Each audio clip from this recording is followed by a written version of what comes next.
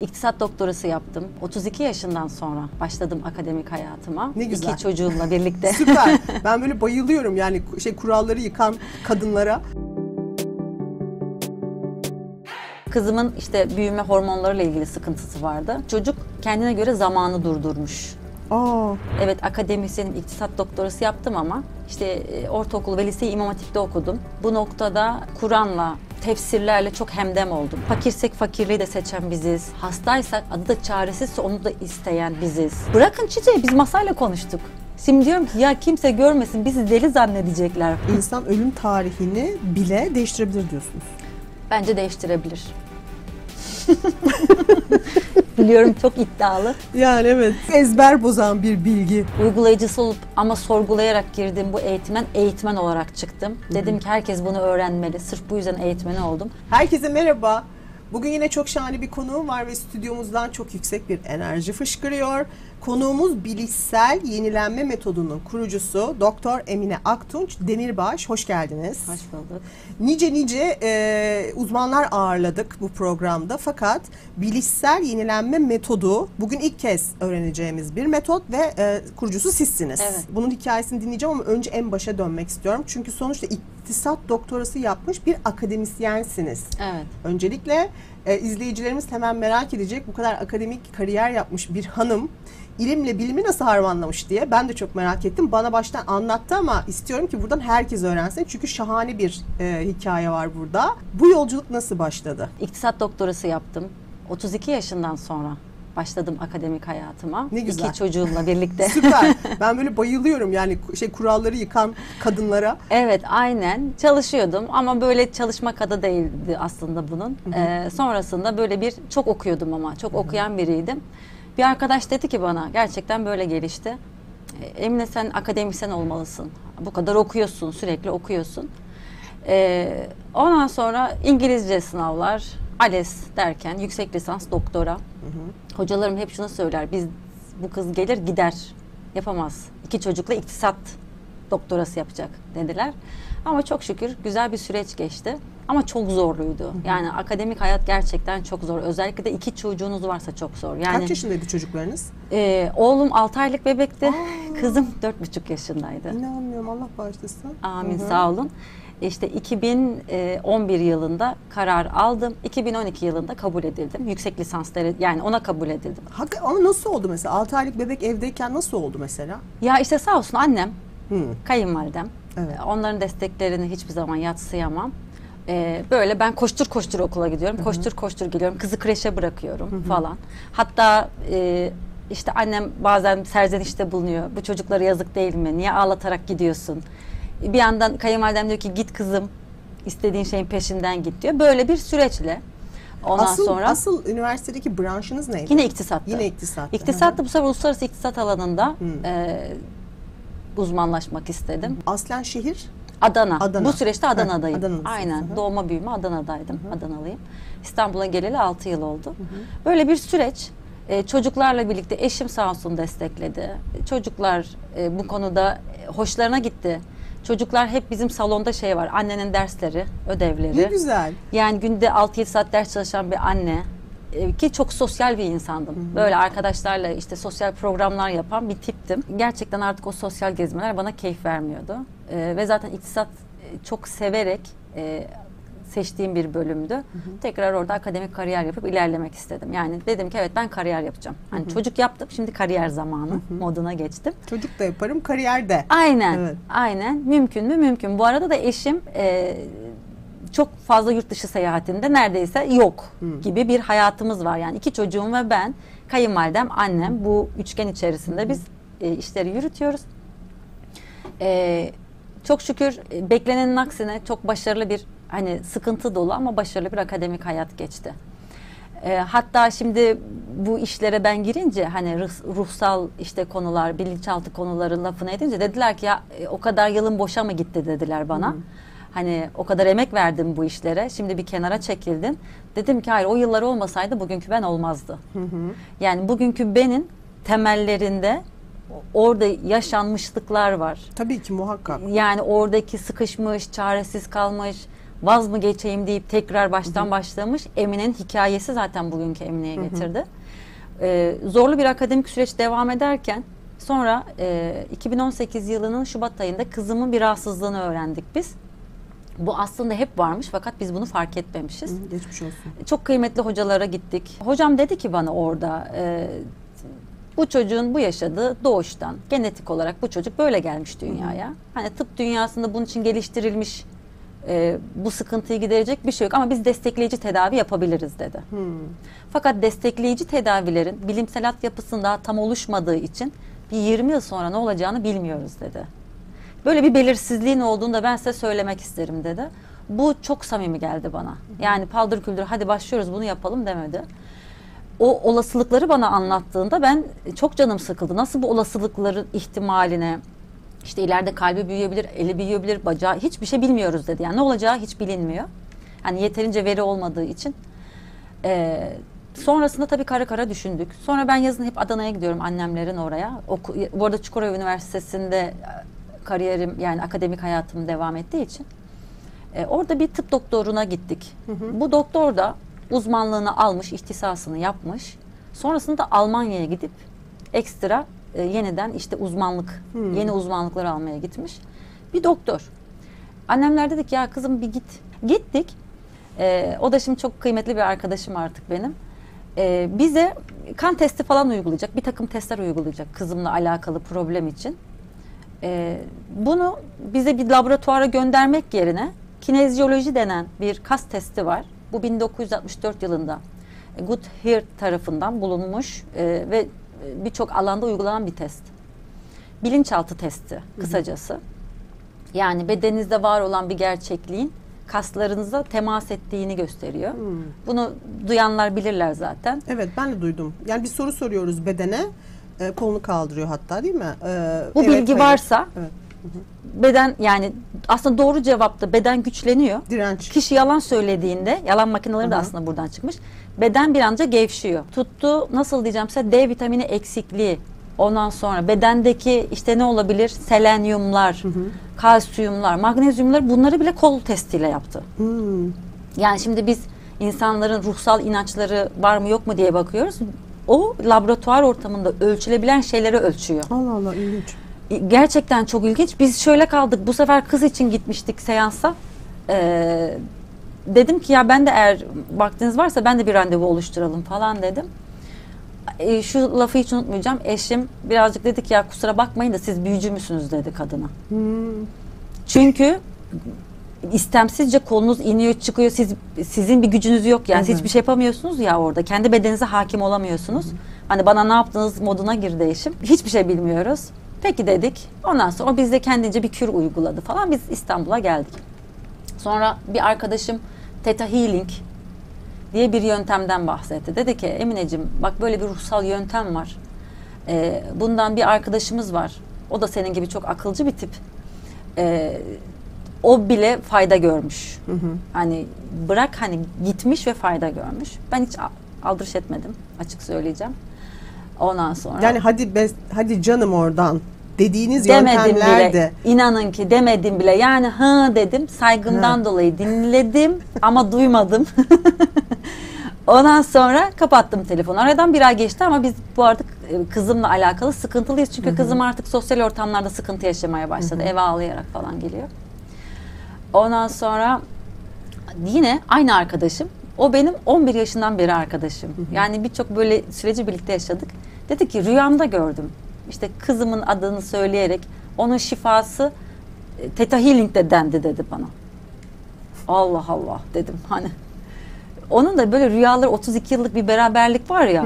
Böyle bilir yani. Beni arar şunu mu yaşıyorsun falan der. Ha. Şimdi çok fazla bu konuda onunla ilgili deneyimim olduğu için ya bana atamadım bakın bu sefer. Çünkü yaşanmışlık var. Hmm. Ya tamam o zaman hadi dedim gönder bir alalım biz bu şeyi danışmanlık neymiş. Ondan sonra görüştük. Kızımla e, görüşme yaparlarken benim de ortamda bulunmama müsaade ettiler. Zaten benim orada ikna oldum diyeceğim. Aslında orada böyle aklım ikna oldu. Ee, kızıma şu soruyu sordu. Kızımın işte büyüme hormonlarıyla ilgili sıkıntısı vardı. Dedi ki ya kızınız ruhsal olarak güçlü bir çocuk. Bu çocuk kendine göre zamanı durdurmuş. Aa, Nasıl dedim ya? Hani bu çocuk zamanı durdurmuş. Hani Kaç zaman yaşında? durur mu? Kızım bu arada 11 yaşında. Hı. 10-11 yaşlarında. Nasıl dedim? Ee, dedik hadi bir bakalım isterseniz dedi. Şimdi önce bir böyle ruhsal okuma yaptı. Sonrasında da bana tespitlerini söyledi. Bu kısım hani çok afaki şeylerden bahsediyor. Sonra dedi ki evet dedi biz bunu anlamak için isterseniz kızının nedenlerini kızın ağzından dinleyelim dedi. Tamam dedim. Ee, işte Theta Healing'de siz Theta meditasyonu yapıyorsunuz. Beyin frekansınız beta'dan Theta'ya geçiyor. Bu da yani bilinciniz aslında açılıyor demek. Hani tam tersi anlaşılıyor genellikle sanki insanlar uyuyor bir habermiş gibi. Theta Healing seanslarında tam tersi. Oturursunuz ve bilinciniz yerinde olur. Çünkü ne yaptığınızı bilmeniz gerekir. Hmm. Çünkü soru size sorulur. Yani işin içinde siz aktif olarak varsınızdır. Ee, kızıma şunu sordu. Dedi ki büyürsen hani büyüme hormonları çalışmıyor ya. Büyürsen dedi en kötü ne olur? Dedi ki annemler de büyür. E büyüsünler. O zaman ne olur dedi. Yaşlanırlar dedi. O zaman ne olur dedi. Ölürler dedi. Bir anda hiç yapmayacağı bir şekilde agresifleşti. Elindekileri attı. Nasıl ağlıyor ondan sonra. Gayet böyle o anı yaşadı sanki annesinin öldüğünü falan. Ee, tamam dedim ya hani ara verelim. Zaten o da ara vermek istedi. Ee, normalde çocuklardan ziyade biz annelere uygulama yapıyoruz aslında. Benim ka- yani o yüzden dedi evet zaman niye durdurmuş gördünüz mü dedi. Annesinin ya da ebeveynlerin ölmesini engellemek için zamanı durdurmuş, büyümeyi de kesmiş çocuk. çok ilginç. Peki e, bunu yani o sırada 11 yaşında kızınız. Evet. Peki bunu hani anne karnında mı başlamış? Yani bu algı, bu düşünüş kaç yaşında başlamış? Aslında arkadaş hani o, o konuda bir bilgi vermedi. Hmm. Bel- verse de belki biz hazır değildik Hmm. zaten öyle bir şeye. Hani o anda dedikleri bile bana çok afaki geliyordu. Anne karnı deseydi herhalde çok Ya, da e, evet. anlamazdım. Ama benim çalışmalarımda gördüm ki bazı inançlar siz deneyimleyince ortaya çıkıyor. Hmm. Ama bu inançları biz seçiyoruz. Evet, çoğunu da hatta biz hep şunu söyleriz. Genetik genetiğimizi biz seçtik. Hani bugün o suçladığımız anneler, babalar ya da işte atalar aslında bizim seçimlerimizden dolayı benim annem babam. Niye? Çünkü bugünkü Emine'nin var olması öyle bir anneye ihtiyaç vardı. Ya da öyle bir babaya ihtiyaç vardı ya da öyle bir atalar silsilesine ihtiyaç vardı. Ben çalışmalarımda ve hep ben böyle bir platform oluşturmuştum inandıklarıma dair. İnsanlar inanırlar, inanmazlar. Onu bilemem. Ee, ama insan her zaman kendi seçimini yapar ve bu doğrultuda insan ruhlar alemine kadar gidiyor bu seçim ne zaman yapmış dediniz ya. Hı hı. Evet bazen anne karnında görüyorsunuz. Ee, kişinin orada aklı karışmış. Bu dünyanın zor olduğunu görmüş. Çünkü annenin yaşadıkları o dış dünyadaki keşmekeşi görmüş. O yüzden zor doğumlar oluyor. Gelmek istemiyor. Ya da Hissediyor çocuk içeride ya da bunu. kısa yoldan dönüp gidiyor. Evet. Hı hı. Yani hani düşükler oluyor Evet ya. ya. da işte vazgeçiyor. E, aslında orada bile anne o çocuğu aldırdığında bile aslında bir sözleşme gerçekleşiyor biliyor musunuz? Ya. Yani anne orada bunalıma girmiş de ya da işte vakti yokmuş da çocuğu almış gibi gözüküyor. Aslında çocuk da bu süreci buradan bitirmeye karar veriyor. Yani insanoğlu o kadar muhteşem bir varlık ki Yasemin Hanım. Ben bu süreçte bunu çok net anladım. Ve gerçekten de bu e, yöntemin ortaya çıkma amacı da be- benim en büyük niyetim şuydu. Biz çok güçlü ruhsal varlıklarız. Zamanı bile durdurabiliyoruz. En azından kendimiz için. Kutsi hadis var. Rabbim diyor ki ben kulumun zannı üzereyim. Kulum beni nasıl bilirse ben onu öyle muamele ederim. Şimdi biz kendini bilen Rabbini bilir. Kendimizi zayıf, aciz görmüşüz. Ondan sonra cezalandırılan, acı çeken, işte yok edilen ya da işte bir mikrobun karşısında bile e, mağlup olan bir varlık olarak görmüşüz. Evet. E bunları bize yapan da yaratıcı da farkında değiliz ancak bilinçaltlarımızda ya da ruhsal planda çok merhametsiz ya da acımasız olarak kaydolmuş aslında. Bu noktada ne oluyor biliyor musunuz? Tamamen güvensiz bir ortamda hissediyorsunuz kendinizi. Tabii. Çünkü şimdi dilimizle işte inanıyorum, Rabbime güveniyorum, elhamdülillahlar hiç ağızdan düşmüyor. İnanın kendimle ilgili böyle bir e, serüvenim var. Bir baktım çok böyle şükrediyorum. Elhamdülillah, elhamdülillah. Başında elhamdülillah, sonunda elhamdülillah. Ben de bu arada panik atak hastasıydım. Nasıl bir hastalık bu? E, yağmurda bile dışarı çıkamıyordum. Korkudan. Aa, Geceleri uyuyamıyordum deprem olursa bir de İstanbul'a taşındık. İşte evim e, o yüzden bahçeli bir evde oturuyorum ama bu sefer ev demirli. Hadi yangın çıkarsa ben bu çocukları nasıl kurtarırım? Yani düşünsenize günlük hayatım kafamı sizle konuşurken bile arka planda sürekli bu korkularla ne uyuyabiliyorum, huzursuzum, agresif böyle bir kişiliğe büründüğüm sırada bu arada. Hani kendimden bahsetmiyorum ama kızımın bu problem ortaya çıktığında ben de böyle bir e, ruh durumundaydım aslında ama kendimi hep böyle kenara atıyordum. Bir şekilde kimsenin farkında bile olmuyordu yani benim o içimde yaşadıklarımı. Bu noktada herkesin dediği dikkatimi çekerken tabii kendi cümlelerim de hep dikkatimi çeker. Ee, çok fazla baktım hani normalde de dil alışkanlığı çok inşallah, elhamdülillah falan gibi kelimeler kullanırım. Baktım elhamdülillah kelimesini çok kullandığım dikkatimi çekti bu sefer.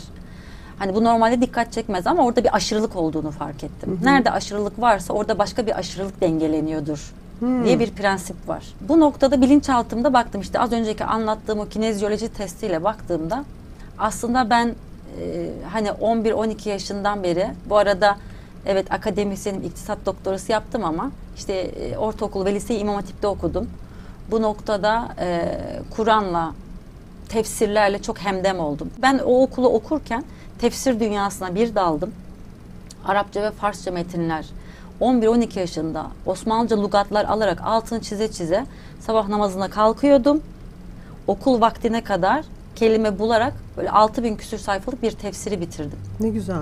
Maşallah. Anla sonra onu bir kere daha bitirdim, bir kere daha bitirdim. Sonra başka tefsirler okudum. Çünkü böyle bir kafaya büründüm. Artık benim için insanın yaratılışı hani hep herkesin sorguladığı şey var ya evet biz bu dünyaya geldik ama niye? Evet. E şimdi gittiğim okul bana diyor ki işte sen Allah'a inan, Allah'a güven, peygambere iman et. Ahirete gideceksin. Namazını kıl, orucunu tut. Evet, tamam süper yapalım bunları. Sonra günlük hayat beni aldı işte. Akademisyenlik, hastalık derken böyle bir sürece girdik. Biz bunu bugünkü dille bilinçaltı, bilinç dışı diyoruz. Bilincimizle biz Allah'a inanmamız gerektiğine inanıyoruz. İşte peygamberlere, meleklere, kutsal kitaba, ahirete, kaza ve kadere. İman ederken dilimiz bu, burada başka bir iddiada bulunan başka biri var. Yaşanmışlıklarından ya da zanlarından kaynaklı. Evet. Zannediyor. Evet. Ee, sonra bir baktım ki şey gibi düşünün, yönetim kurulu gibi düşünün Yasemin Hanımcığım. Şimdi ikimiz varız, bir yönetim içindeyiz. S- Sen diyorsun ki işte Emine karşıya geçelim. Ben diyorum ki yok Yasemin burada kalalım. Ne yaparız biz? Oyalanırız değil mi? Tabii kararsızlık. Kararsız kalırız. Birbirimizi ikna etmeye çalışırız. Sen dersin ki bak Emine gidelim daha şöyle. Ben derim ki Yasemin böyle falan. Böyle bir moda gireriz. Bu ne yapar? Bizim sürecimizi uzatır. Karar versek gideceğiz ya da kalacağız. Bir belirsizlik oluyor hayatımızda.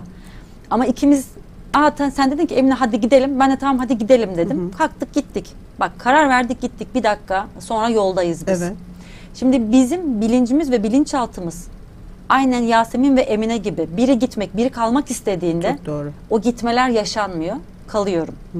Diyorum ki ya ben gitmek istiyorum. Niye gidemiyorum? Çok doğru. Kendi içimizde bir kavga var. Ve bu sefer Evet. bu neye getiriyor biliyor musunuz bizi? Bak gitmek istiyorum ve yapamıyorum. Niye? Çünkü ben nasipsizim. Niye? Çünkü ben çok sansızım. Ya da niye? Allah bana nasip etmez ki. Sonra elimi kaldırıp Allah'ım herkese veriyorsun bana niye vermiyorsun? Bunlar şaka gibi gözüken Doğru. aslında alt tarafında farkında olmadan bir e, temele dayanan cümleler aslında. Neden hep ben? Neden hep ben gibi bir isyan cümlesi farkında olmadan çıkıyor. O durumu geçirince biz geçti zannediyoruz. Hayır bilinçaltı kayıt içinde. Yani nasıl şu anda kayıtlar devam ediyor. Orada da kayıt içinde ve unutulmuyor hiçbir şekilde.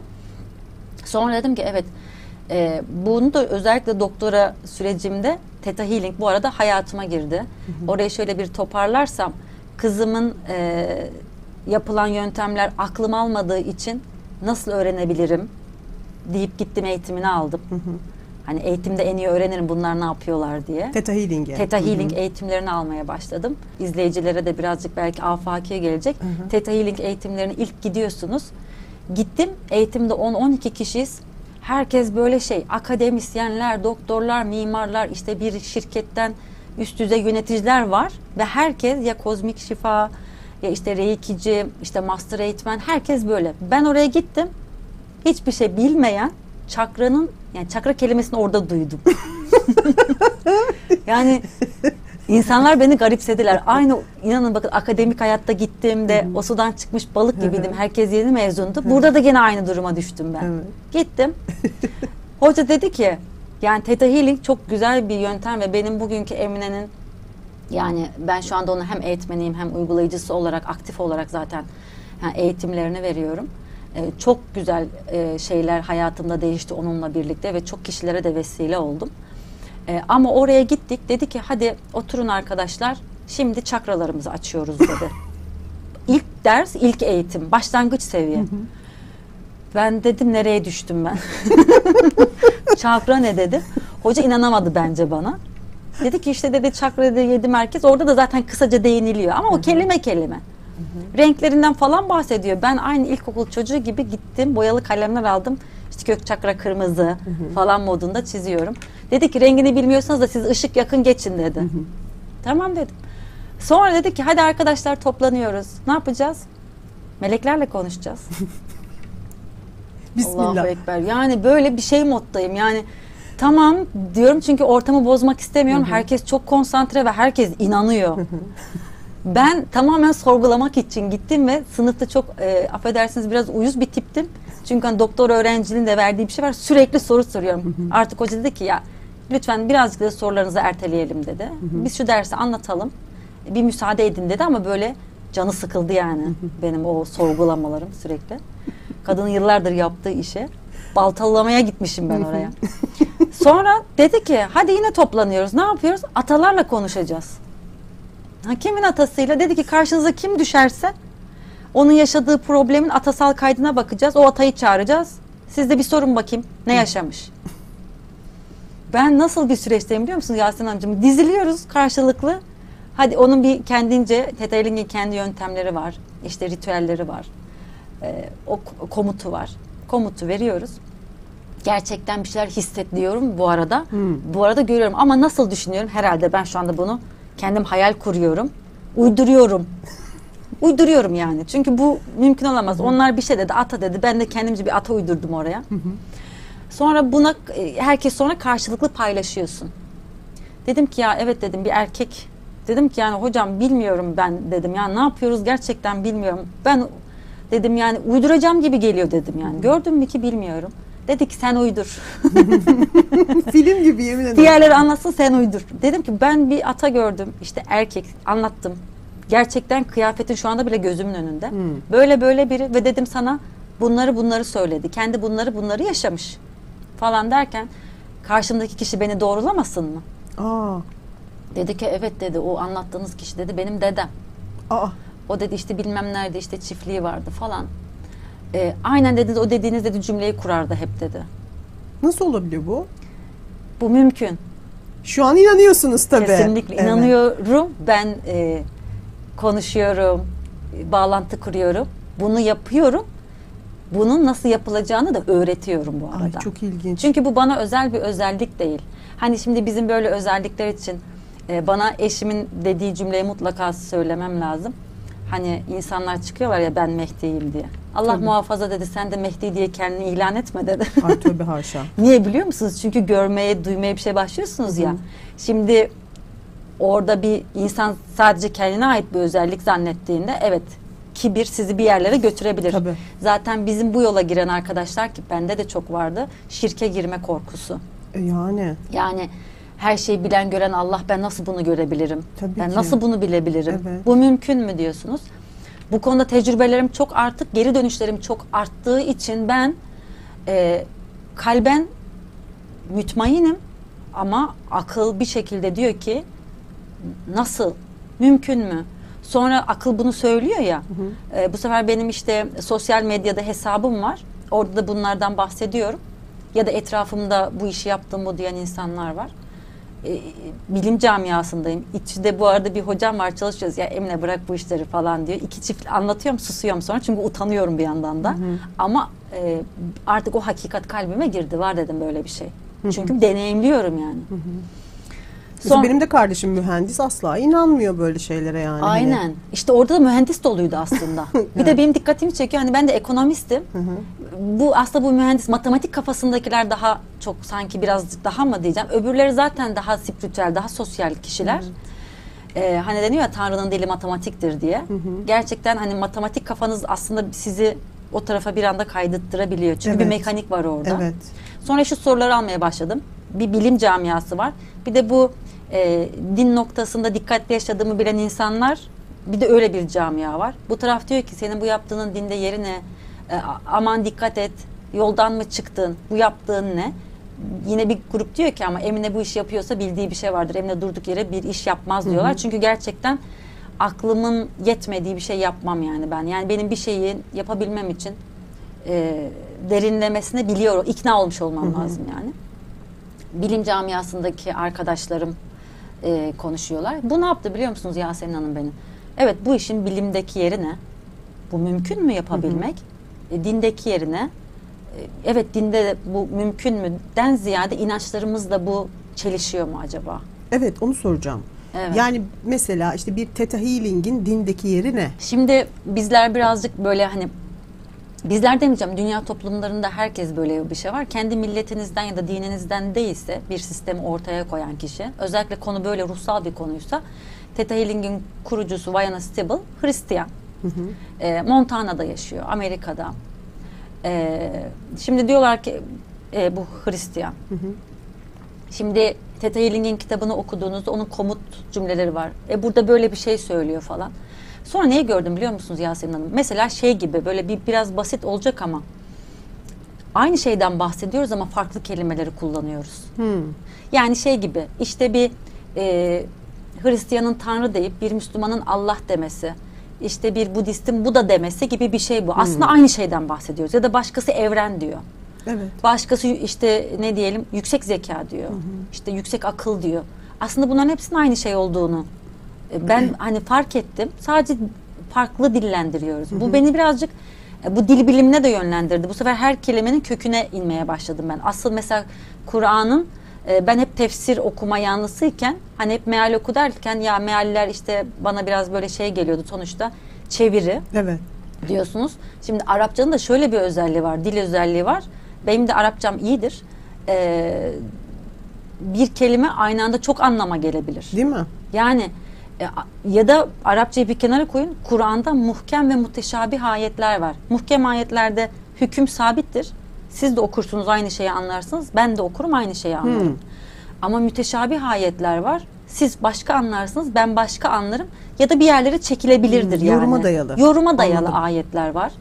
Ee, ama diyor ki İbn Arabi, şimdi yani tefsirlerde bu noktada çağlara göre değiştirilmiş, oluşturulmuş. Genelde onun üzerinden gidilmiş aslında hani Kur'an yorumculuğu.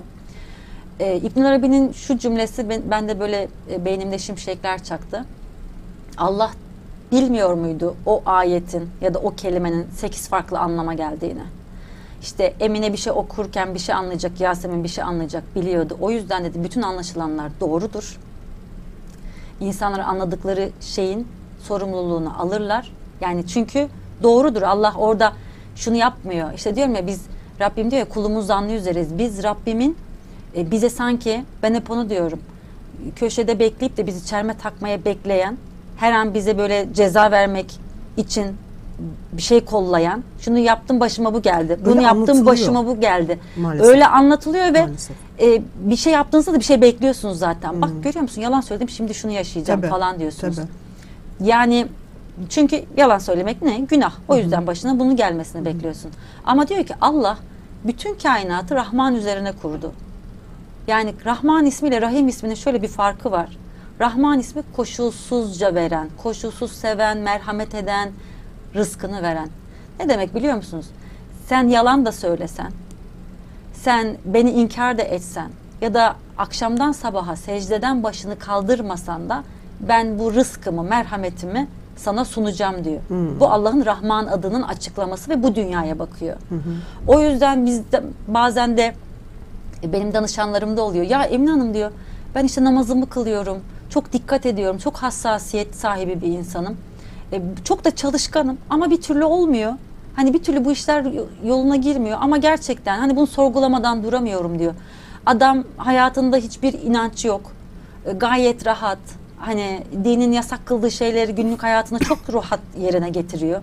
Ama o adamın işleri yolunda, tıkırında, gayet işte e, lüks evlerde lüks arabalara biniyor. Bana bunu açıklayın dedi. Evet. Yani gerçekten bu noktada zaten insanlar o az önce bahsettik ya bilinçaltında Allah'a adaletsiz, merhametsiz, birileri sakat doğuyor, birileri işte çaresiz bir hastalığa kapılıyor. İşte işte X kişisi değil de Y kişisi niye buna kapıldı? Allah birini mi seçti? Yani Evet. Allah orada neye göre bu ayrımı yapıyor? Böyle baktığınızda ister istemez bilinciniz de burada. Zaten bilinçaltı inançlarımız bilincinizin ikna olduğu noktalarda alıp arkaya atıyor. Bir konuda ikna alıyorsun, arkaya atıyorsun. Bu noktada ben bu sefer dedim ki evet e, Yaradan hep anlatıyoruz ve Kur'an'da en çok geçen ayetler Allah Rahmandır, Rahimdir, bağışlayıcıdır, esirgeyendir derken bu nasıl bir şey? Bu bir ya da adildir. Allah'ın en büyük isimlerinden, en büyük sıfatlarından biri adalet. Bakın yaşarken arka taraf hep bunları sorguluyor. Bunları sorguladığınız için ne oluyor biliyor musunuz Yasemin Hanımcığım? Bunun cevabını içeren kitaplara çekiliyorsunuz. Bunu içeren eğitimlere çekiliyorsunuz. Doğru. İşte kalkıyorsun Yasemin'in karşısına oturuyorsun. O sana bir cümle söylüyor. Senin e, aklında cevaplarını aradığın bir şeyin aslında cevabını veriyor. Onun bile haberi yok.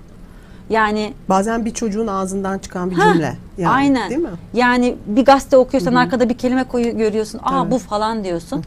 Çünkü sen evrensel noktada e, bir noktaya kendini odaklandığında odaklandığın şey hayatına her yönden girmeye başlıyor. Evet. Cevaplar her yerden geliyor. Her yerden geliyor ama görebilene. Tabii. Yani bu cevaplar aslında hep geliyor da sorgulayınca e, hani algıda seçicilik diyoruz ya. O a- Evet. açığa çıkıyor. Biraz görüyorsun. kişinin kulağıyla, gözüyle, içerisiyle ilgili. Aynen. Yani neyi duymak istiyorsa, neyi görmek istiyorsa, içeride neyi arıyorsa o aslında hayatına geliyor. Ya da neye inanıyorsa onda hangi bilgi mevcutsa Evet. karşılığı varsa duyuyor. Karşılığı varsa görüyor. Doğru. Yani şunu söyleyeceğim. Ee, evet insanlar ya da işte kolektifteki inançlarda işte bir insan e, ben yaptığım çalışmalarda da bunu görüyorum. Diyorum ki zengin olursanız en kötü ne olur? en kötü derken.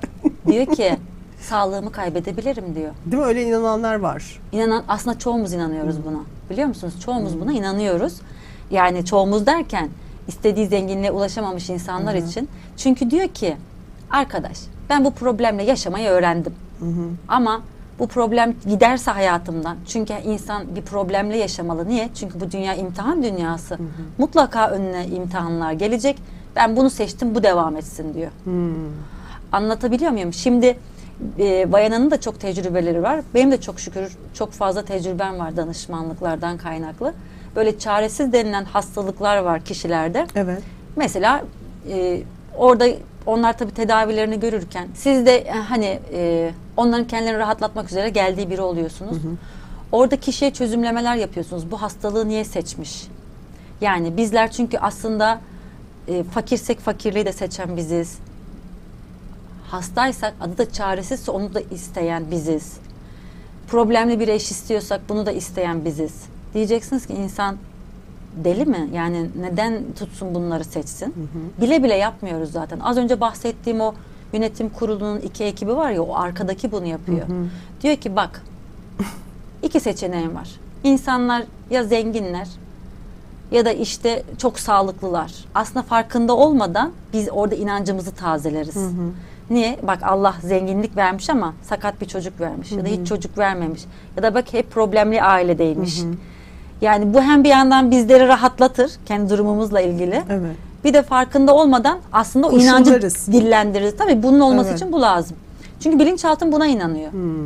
Ve hayatı bu sefer böyle yaşıyorsun. Diyorsun ki ben sağlığımı bozulmaktansa arkadaş ben bu para problemini çekim diyorsun. Hani bereket bolluk konuları bizim çok önemli konularımız. Bununla Evet. ilgili eğitimlerimiz var. Aslında hatırlatıyoruz Yasemin Hanımcığım. Bir de böyle bir durum var.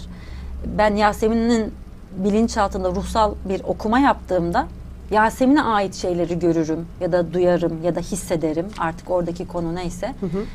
Aslında Yasemin'in sahip olduğu fakat unuttuğu hakikatlerdir bunlar. Hmm. Onlar hatırlatılır aslında kişiye. Mesela şu bir hakikattir. Evet insan hem zengin, hem sağlıklı, hem mutlu olabilir. Bu mümkün. Bunu bilmek ister misin derim. Ve bunun e, yüklemesini yaparız kişiye ruhsal anlamda. Bu yükleme dediğin şey noktasında bilim işin içine giriyor. Ne yüklüyorsun sen? Yani ne yükledin, kime ne yükledin gibi. Evet his yüklemesi çok duyuyorum evet, ben. Theta Nedir? Healing'in ortaya koyduğu bir şey. Hı hı. His- Nedir his yüklemesi? His yüklemesi e, teknik anlatımıyla şudur. Bizler doğduğumuz anda bir bebeğe baktığınızda e, işte trilyonlarca beyin hücresiyle dünyaya geliyor. Nöronları var. Çok büyük kabiliyetleri var. Fakat doğduğu aile şartları, bulunduğu konum ve daha sonrasında e, rutin hayatıyla birlikte sadece bir takım özelliklerini kullanıyor. Kullanmadığı özellikler sönüyor. Hmm. Yani şey gibi bilmiyorum hiç kolunuz kırıldı mı ben yaşadım. Ee, kolunuzu böyle birileri e, alçıya aldığınızda kullanmazsanız kırık geçse bile bu kol hareket kabiliyetini kaybeder çünkü unutur. Doğru. Fizik tedaviye gitmiştik dedi ki biz onun hafızasını yerine getireceğiz. Demek ki ben de böyle kişilere denk gelmişim. Hmm. Dedik ki evet ona tekrar hareket edebileceğini hatırlatıyoruz deyip bu kolumu tekrar böyle kullanılabilir hale getirdiler. Niye? İşte bir buçuk aylık bir süreçte kullanılmadı ya bu hemen hareket kabiliyetini kaybediyor.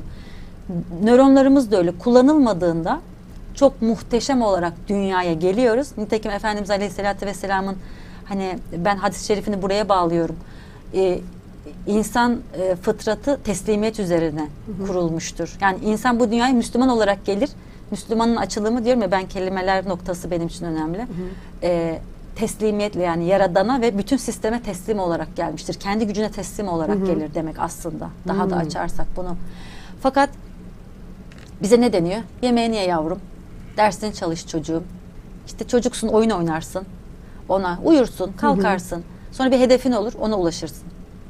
Bunları yapman için gerekli uzuvların, gözün, kulağın, elin, bacağın. Ama benim arka plandaki akıl gücüm, akıl gücünü gene günlük hayatımızda kullanıyoruz ama bizim müfekkire dediğimiz fikir gücü var. Musavvire dediğimiz hayal gücümüz var. Bizim arka planda aslında bu bedeni ve bu hayatı yürütürken çok gücümüz var. Ama biz zannediyoruz ki işte beş duyu organı diye de ilkokulda bize öğretiyorlar ya. Bundan ibaret bir varlık olduğum için bunları kullanıyorum. Bu arada işte Yasemin Hanımcığım konu devreye giriyor. Ben kendi güçlerimi, kendi fonksiyonlarımı unutup kapatıyorum. Biz his yüklemeleriyle onları uyandırıyoruz. Hmm, nasıl Hatırlatıyoruz yani. Evet. Bir de insan kelimesinin e, anlamı da zaten kökeninde nisyandan geliyormuş ve unutmak demekmiş Evet. galiba değil mi? Buraya Evet. da mı bağlanıyor bu konu Kesinlikle. aslında? Yani zaten e, ben şöyle söyleyeyim. Hani bu tefsir süreciyle başlayan hayatım, sonra bilimle devam eden bu süreç, aldığım sorularla birlikte bunun bilimde yerine, dinde yerine derken yaşadığım birçok böyle e, ilginç, güzel ruhsal deneyimler var. Onları şimdi burada bahsetmeyeyim. Ama yolum tasavvufa döndü. Özellikle de İbn Rabi'ye döndü. Onun Fususül Hikemi var. Harika bir kitap. İlk okudum beynim yandı anlamıyorum çünkü. Yani kendine ait bir dili var onun. Sözlüğünü aldım. İkinci kere okuduğumda ha demeye başladım. Sonrasında Fütuhat-ı Mekkiyesi var ve başka birçok kitabı var. Onu aldım, onu aldım. Kitabı sürekli onu okuyorum. Çünkü bizim Theta Healing'de bahsettiğimiz insanın ruhsal gücü var. İnsanın ruhlarla konuşmasından, her şeyin canlı olduğundan, şuradaki masanın bile bir ruhu olduğundan, istersen bununla temasa gidebileceğine kadar cümleler geçiyor. İbnül Arabi'nin Fütuhat-ı Mekkiyesinde, Füsusul Hikeminde bunu okuyanlar da bilirler. Ee, birazcık ağır bir eser. Daha doğrusu siz dilini çözünce kolay. Ee, ama onun kendi kullandığı kelimeleri var. O noktada ee, Allah Allah dedim. Yani e, burada bir aslında ruhsal bir deneyimim var. Anlatmam ne kadar doğru isterseniz anlatayım. Ee, şimdi ben en çok tabi bilim noktasında e, bilim noktasında kolay deniyor ki bu yöntem kuantuma dayalıyor. Ben kuantum fiziğine dair neredeyse gidip e, hani master mı yapsam fiziğe beni alırlar mı modundayım. Çünkü fiziğe merak saldım. Kuantum fiziğini ve onunla ilgili makaleleri okumaya başladım. Benim de böyle takıntılarım var. Benim bir şeyi an, ya işte işte bilimsel bir süreç. Hocalarım da öyleydi. Bir makale lazım bana. E, kuantum dolanıklığı. Ondan sonra kuantum dolanıklığından bir bahsedeyim. Şöyle bir e, şeyden bahsediyor orada. Şunu söylüyor ve bu ispatlanmış şeyler. Kuantum fiziğinin şöyle bir handikapı var. Hani bunlar doğa bilimi ya. Her şeyi deneyliyorlar, ispatlıyorlar. Evet. Kuantum bilimi Einstein'la da birlikte gelişmiş. Einstein aslında bir yerde ona böyle e, karşı çıkıyor ama gelişmesinde çok büyük katkıları var. Yaptığı itirazlarla birlikte de gelişiyor çünkü sanki çünkü bilim böyle gelişiyor Tabii, yani. tabii. Herkes bir şey söylüyor. O seni yanlışlarken o bir şeyi fark ediyor. Sen onu doğrularken sen onun başka bir şeyi fark ediyorsun. Şimdi bu süreç benim için çok aşina bir süreç zaten. Ee, kuantum dolanıklığı şunu söylüyor. Evet, aynı kaynaktan olan her şey isterse binlerce ışık yılı uzaklıkta bir, bir e, uzaklıkta olsun, birbirinden ayrı olsun. Birinde gerçekleşecek bir değişiklik, diğerinde de aynı gerçek değişikliğe sebebiyet verir. Bunu ispat ediyorlar ama açıklayamıyorlar. Bu nasıl mümkün? Evet. Yani bu şeyden bahsediyorsunuz hani o maymun deneyleri falan. Yani dünyanın bir yerinde maymunlar sonuçta hani kumlu patatesi yiyorlar. Öteki taraftakiler de yiyorlar değil mi? Aslında evet, onu açıklayan deneylerden bir Kolektif tanesi bir şey bu. çalışıyor yani Aynen. sanki. Oradaki kaynaklık özellikle bu Big Bang teorisi var ya. işte her şey işte ateş topuydu patladı ve evrene yayıldı ve bütün evren yaratıldı. Çünkü işte tek bir ateş topundan patladı. Ee, aslında her şey aynı kaynaktan. Biz de şunu biliyoruz ki hepimiz Allah'tan geldik ve ona döneceğiz. Bizim özümüz, ruhumuz, e, bedenimiz, suretimiz yaradandan. E, inanç noktasında baktığınızda evet biz aynı kaynaktan geldik. Bilimsel olarak Big Te- Bang teorisi dediğimizde de evet her şey bir ışık topuydu ve evren onun patlamasıyla, onun yayılmasıyla oldu. Bu noktada sizin şurada yaptığınız bir hareket e, başka bir şeye etkiliyor. Theta Healing bununla çalışıyor. Theta Healing'den ziyade ben Theta Healing tabii hem eğitmeni hem uygulayıcısı olarak onu dikkate e, hani öne koyuyorum. Ama bütün kuantuma dayalı yöntemler ve şu anda spiritüel adı altında toplanmış bütün yöntemler bu yasalarla çalışırlar. İslamiyet'te bu sünnetullah Allah'ın her şeyi sebepler dairesinde yaratmasıyla aynı karşılığa gelir aslında. Çünkü Allah e, önce aklı yani ruhları yaratıyor. Sonra melekleri, o melekleri de vazifelendirip bütün alemin yaratılması noktasında onları vazifelendiriyor. Böyle bir sistem kuruyor Allahü Teala ve bu sistem o ilk kalem denilen, akıl denilen e, ervah-ı müheyyem diye adı olan o yaratıldığı andan beri bütün sistem kurulu. Yani insan yaratıldıktan sonra bu sistem başlamadı. Zaten kurulu bir sistemin üzerine geldi insan. Çünkü nasıl siz misafirinizi, baş misafirinizi önce işte evi temizlersiniz, sofralar kurarsınız. e, Hiçbir şey eksik olmaz ve onun gelmesini beklersiniz. Allah da yaratılış sürecinde önce tüm alemi hatta işte bizim cinler, cinler, başka büyük başka mahlukatlar bütün alemi yaratıyor. Hayvanlar, bitkiler zaten burada varlar. Yaşamaya devam ederken en son insan yaratılıyor. Hmm. Her şey çünkü onun için hazır. Ve bütün alemin sahip olduğu bütün özellik insana veriliyor. Ve Allah'ın sadece diyor ya Adem'i kendi suretimde yarattım. Ve bunu yaratırken de bu da çok dikkatimi çekmişti. E, Bir rivayete göre Azrail, bir rivayete göre Cebrail aleyhisselama Allah diyor ki git dünyadan toprakları topla çeşitli yerlerinden. E, tabii bunu işte bunlar müteşabih ayetler aslında. Ve Allah diyor o yeryüzünden toplanan toprakları iki eliyle yoğurdu ve insanı yarattı. Hmm. Bakın şimdi biz Allah'ın işte her şeyden tenzih olduğunu biliyoruz. Zaten hem benzeterek biliyoruz çünkü o nasıl tanıyacağız? Kendimizden bilirsiniz değil mi? Hani Evet. görmeyi kendimden biliyorum. Ha böyle görüyor demek ki. Duymayı kendimden biliyorum. Çünkü Allah o yüzden isim ve sıfatlarını bize e, derc etmiş ki onu bilelim diye. Hmm. Bakın işte görüyorsunuz ya diyor ben de görüyorum ama diyor ben sizin görmediğiniz öte alemleri her şeyi görüyorum diyor. Bakın duyuyorsunuz diyor ben de duyuyorum. Hani birine bir şey anlatırken yaptırırsınız bak gördün mü yapılabiliyor ya da bak ben de bunun daha büyüğünü yapıyorum diyor aslında. Biz vahidi kıyas ederiz. Allah'la kendi kıyas ederek kendini bilme ama tenzih ederek de Allah'ın bizim sahip olduğumuz tüm eksik ve noksanlardan münezzeh olduğunu biliriz. İşte iman burada başlar zaten. Biz ama evet e, insanı o kadar zayıflaştırmışız ki bir sizle de yayından önce yaratım kelimesi hani çok hassas bir kelime. Evet. Bizim de Theta Healing'de yaratım bolluk diye bir eğitim var. Ya da kelim, yaratma kelimeleri böyle kullanılır.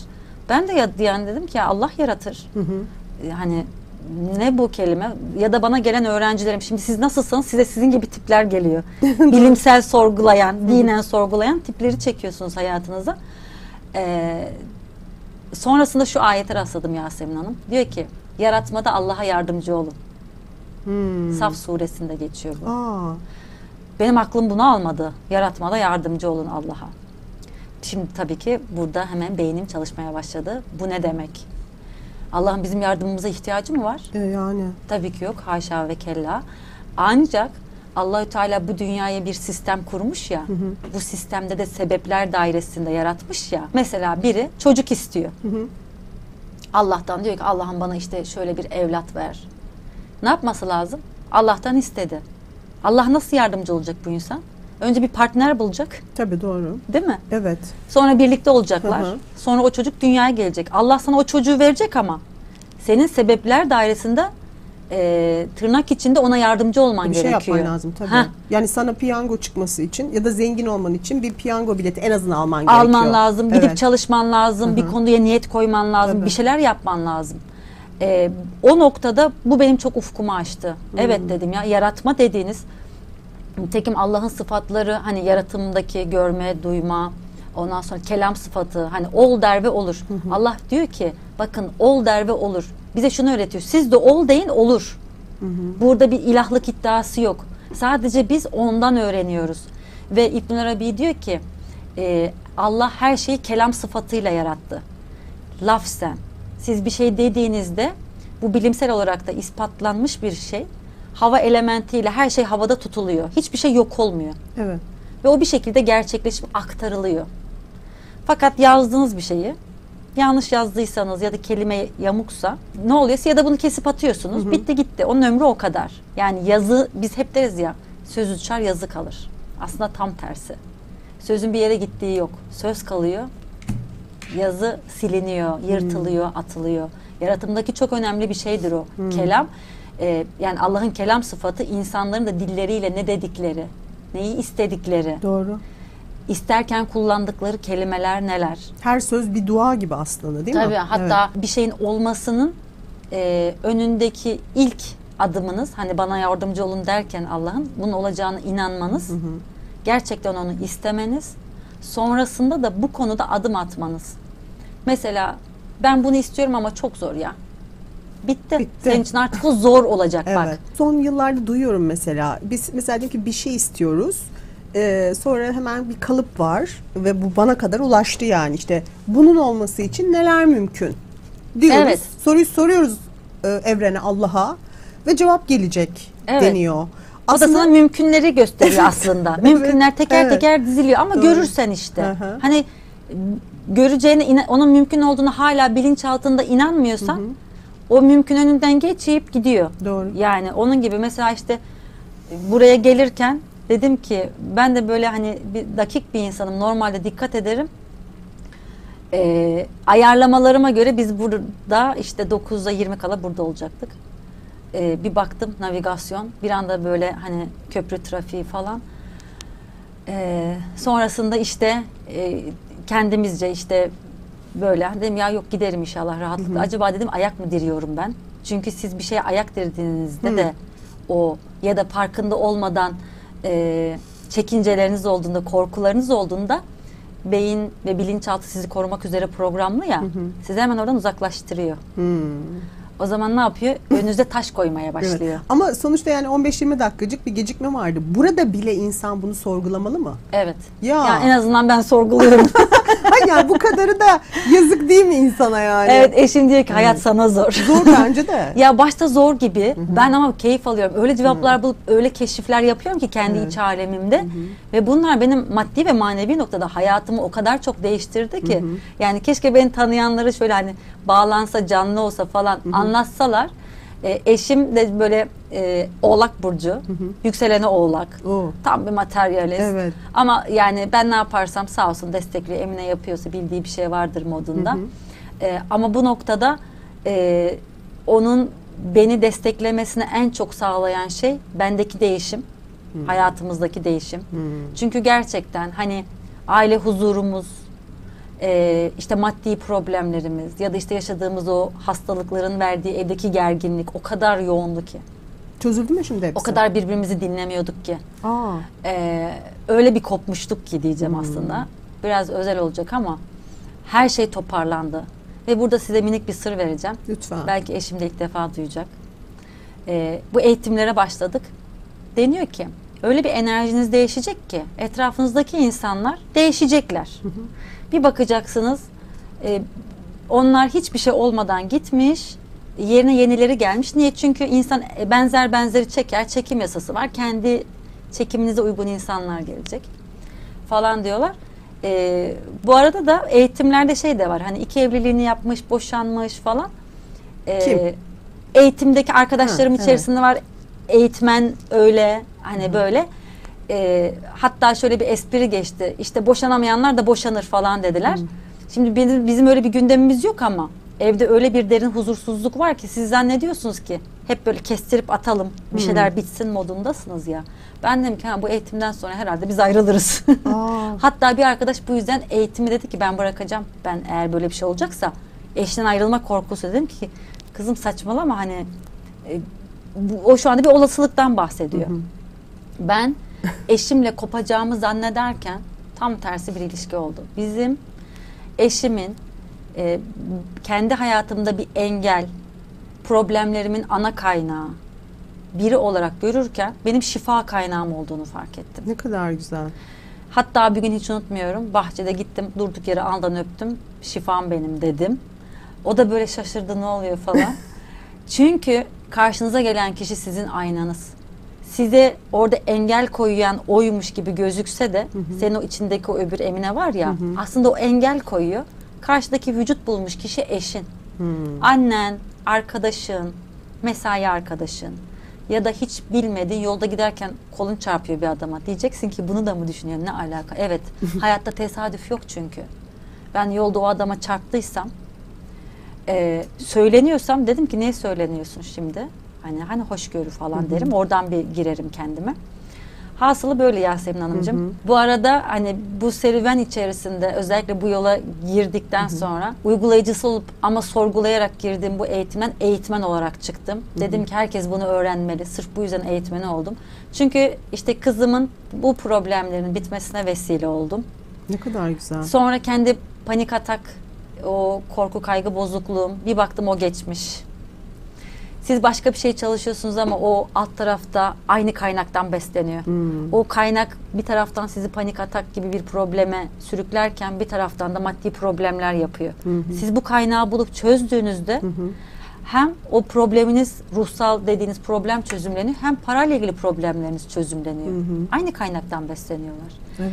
Çözümlendikçe başkalarının çözümlemelerinde kendimi gördükçe hani hep bu kafayla baktığım için Evet. çok kısa sürede hızlı bir yol aldım. Bilişsel yenilenme metodu açığa çıktı. Theta Healing çok ruhsal bir yöntem. Dediğim gibi gerçekten meleklerle, bitkilerle konuşuyoruz. Bir eğitimde dediler ki hadi gidin birer çiçek getirin. Konuşacağız. Çiçeklerle. Çiçeklerle. Bırakın çiçeği biz masayla konuştuk. Şimdi diyorum ki ya kimse görmesin bizi deli zannedecekler falan. Aramızda kalsın paylaşmayalım çünkü kimse bizi anlamaz. Gelen ama herkes dediğim gibi böyle okumuş, kendince entelektüel bir tarafı var. Sorgulayan, hayatı sorgulayan kişiler Evet, yani. evet. Gelmişler oraya. Evet. Kimse öyle hadi geçerken uğrayayım diyeceğiniz bir ortam değil. Geçerken uğrarsınız bunlar deli mi der geçer gidersiniz yani. Çünkü öyle bir ortama bürünüyoruz biz o anda. Kuantumdaki bunun muhteşem açılımı. Sonra ayet ve hadislerle inançların bizim kendi zanlarımız olarak kısıtladığımız bir hayata kendimizi böyle kap- hapsettiğimizi gördüm ben. İnanç noktasında bile. O noktada ben hep kaderi işte hani dedik ya bazıları hasta bazıları böyleyken kader mevzusunda kadere iman noktasında çok düşünen biriydim. Dedim ki ya biz bir nokta kaçırıyoruz. Biz sadece kadere iman etmiyoruz. Biz kader ve kazaya iman ediyoruz. Bu kaza neresi? Benim özgür iradem.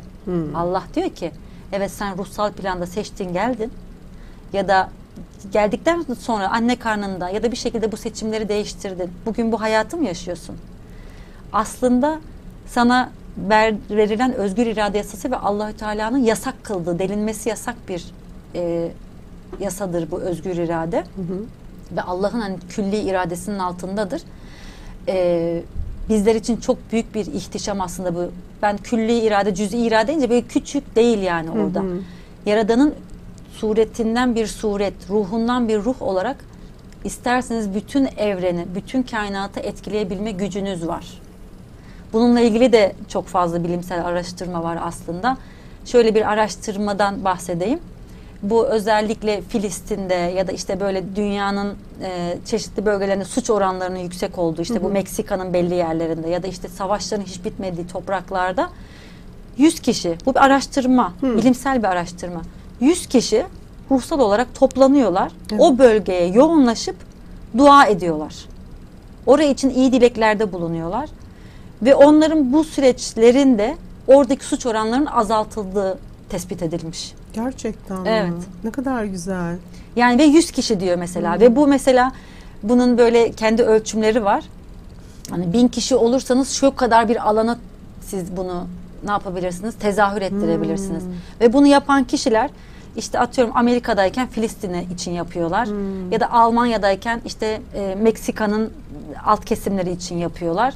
Ve bu bir tane değil birkaç tane hatta belki yüzlerce yapılmış bir deney. O anda o saatlerde suç oranları azalıyor. Bu neyi gösteriyor? Evet ben buradaki ettiğim biz ona dua diyelim. Biz ona meditasyon diyelim. Ne yap- ne yaparsak yapalım bu ilahi olarak yaradan tarafından cevap buluyor ama yaradanın kurduğu sistemden cevapları alıyor. Orada da kişinin kendi gücünü bilmesi, bu kadar aciz ve zayıf olmadığını anlaması gerekiyor. Belki bu noktada bize şu itirazlar gelecek. Çünkü ben de bu öğretilerle büyüdüm. Ee, işte bizler aciz ve zayıf varlıklarız. Allah'ın ee, Allah işte sonsuz kudret ve merhamet sahibi. Evet dedim. Biz aciz ve za- zayıf varlıklarız. Ama Yaradan'a karşı sadece. Yaradan'ın gücü karşısında aciziz ve fakiriz. Ama onun dışında alem bizim karşımızda aciz ve fakir aslında. Çünkü bu alem benim için yaratılmış. Doğru. Bütün her şey bana hizmet etmek üzere yaratıldıysa ben nasıl onun kölesi ya da tutsağı olabiliyorum ki? Doğru. Ondan gelen bir mikrop nasıl beni al aşağı edebiliyor ki? Burada bir ters ilişki var. İşte bu ters ilişki zaten sizi sorgulatıyor. Bu noktada da evet bilişsel yenilenme metoduyla önce akılların ikna olması gerektiğine inanıyorum ben. Bilinçaltı çok rahat değişiyor. Deneyimlerimle benim çok sabit. Herkes bilir. Ben size şimdi yayından sonra öğretim çok rahat. İnancı değiştirirsiniz bilinçaltını. Fakat bilinçaltı inançların değişmesi bilincin ikna olmasından geçer. En azından e, bilişsel yenilenme metodu bunun üzerine kuruldu. Bunun da çıkış noktası Allah'ın yarattığı ilk varlığın akıl olmasından kaynaklı. İlk inen surenin kalem olmasından kaynaklı. Kalemle akıl aynı köktendir E, ve aklında yaradı kaleme aladır aslında. Bu o meleğin adıdır. Sonra da levh-i mahfuz yazı e, yaratıldı. Kalemden yaratıldı. Kalem levh-i mahfuza yazdı. Biz de oynuyoruz ama bizim seçimlerimizi yazdı. Ve diyor ki Allah ayette biz sizin kaderinizi boynunuza bağladık. Başka bir ayette diyor ki istekleriniz, yaptıklarınız önünüze bir defterle sunulacak.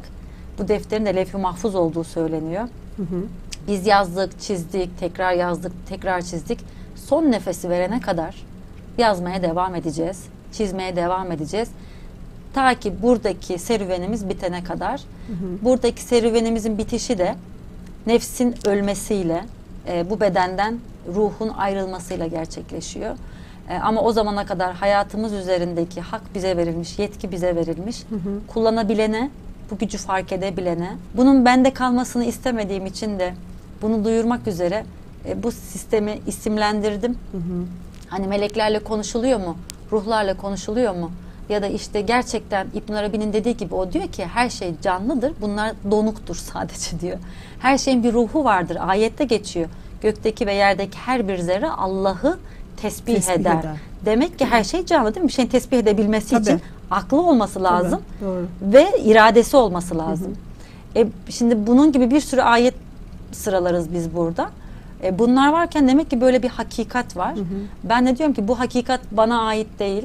Bu hakikat insana ait bir hakikat. O yüzden arkadaşlar diyorum gelin e, biz kendi hakikatimizi, güçlerimizi fark edelim. Bizim bunları yapmamızı imkansız kılan ya da zor kılan inançlarımızı değiştirelim. Bunlar bizim zanlarımız, yaşanmışlıklarımızdan kaynaklı. Kendimize de haksızlık yapmayalım. Biz böyle inanıyorsak bunları ya biz yaşadık ya atalar yaşadı ya dünyanın hafızasında var bütün bunlar. Siz de o hafızaya geliyorsunuz. Ön kabulle geliyorsunuz diyorum ya o ilk yaratılmış trilyonlarca nöronun bir kısmı pasifize oluyor zaten. Hayata e, tek boyutlu, üç boyutlu bir varlık olarak tek boyuttan, madde boyutundan yaşıyoruz. Ondan sonra da e, hayatımızda bir sıkıntı olduğunda kendimizi çaresiz hissedip bir kenara çekiliyoruz. Bunun için tasarlanmış, insanın hizmetine sunulmuş çok yeni, çiçeği burnunda bir yöntem. E, siz de ben e, bana uğurlu ve şanslı geleceğinize eminim. İnşallah. Hiçbir şey çünkü tesadüf değil Değil. gerçekten. Theta Healing'de hı. o bahsettiğimiz meleklerle görüşme, atalarla görüşme, ruhlarla görüşme, e, bu noktada ruhsal planda işte kişilerin şifasına vesile olma, telekinezi yapıyoruz. Bir e, DNA 3 gibi bir eğitimimiz var. İleri seviye eğitimler. Sizin bu bilinçaltındaki negatif inançlar, kızgınlıklar, öfkeler temizlenip sizin titreşiminiz ve frekansınız yükseldiğinde siz aslında diyor ki e, bayana insanın öyle bir elektriksel gücü var ki siz düşünce gücüyle şu ba- bardağı yerinden kaldırabilirsiniz aslında. Fakat o düşünceler kızgınlık, öfke, korku, kaygı, yarın ne olacak, geçmişte bu olmuştu. O kadar dağınık bir enerji halindeyim ki 100 birimlik enerjimin belki bir birimiyle yaşıyorum ben bu hayatı. O yüzden ben bu bardağı kaldıramıyorum yerinden. Hmm. Ya da ben aynı anda birkaç yerde olabilirim.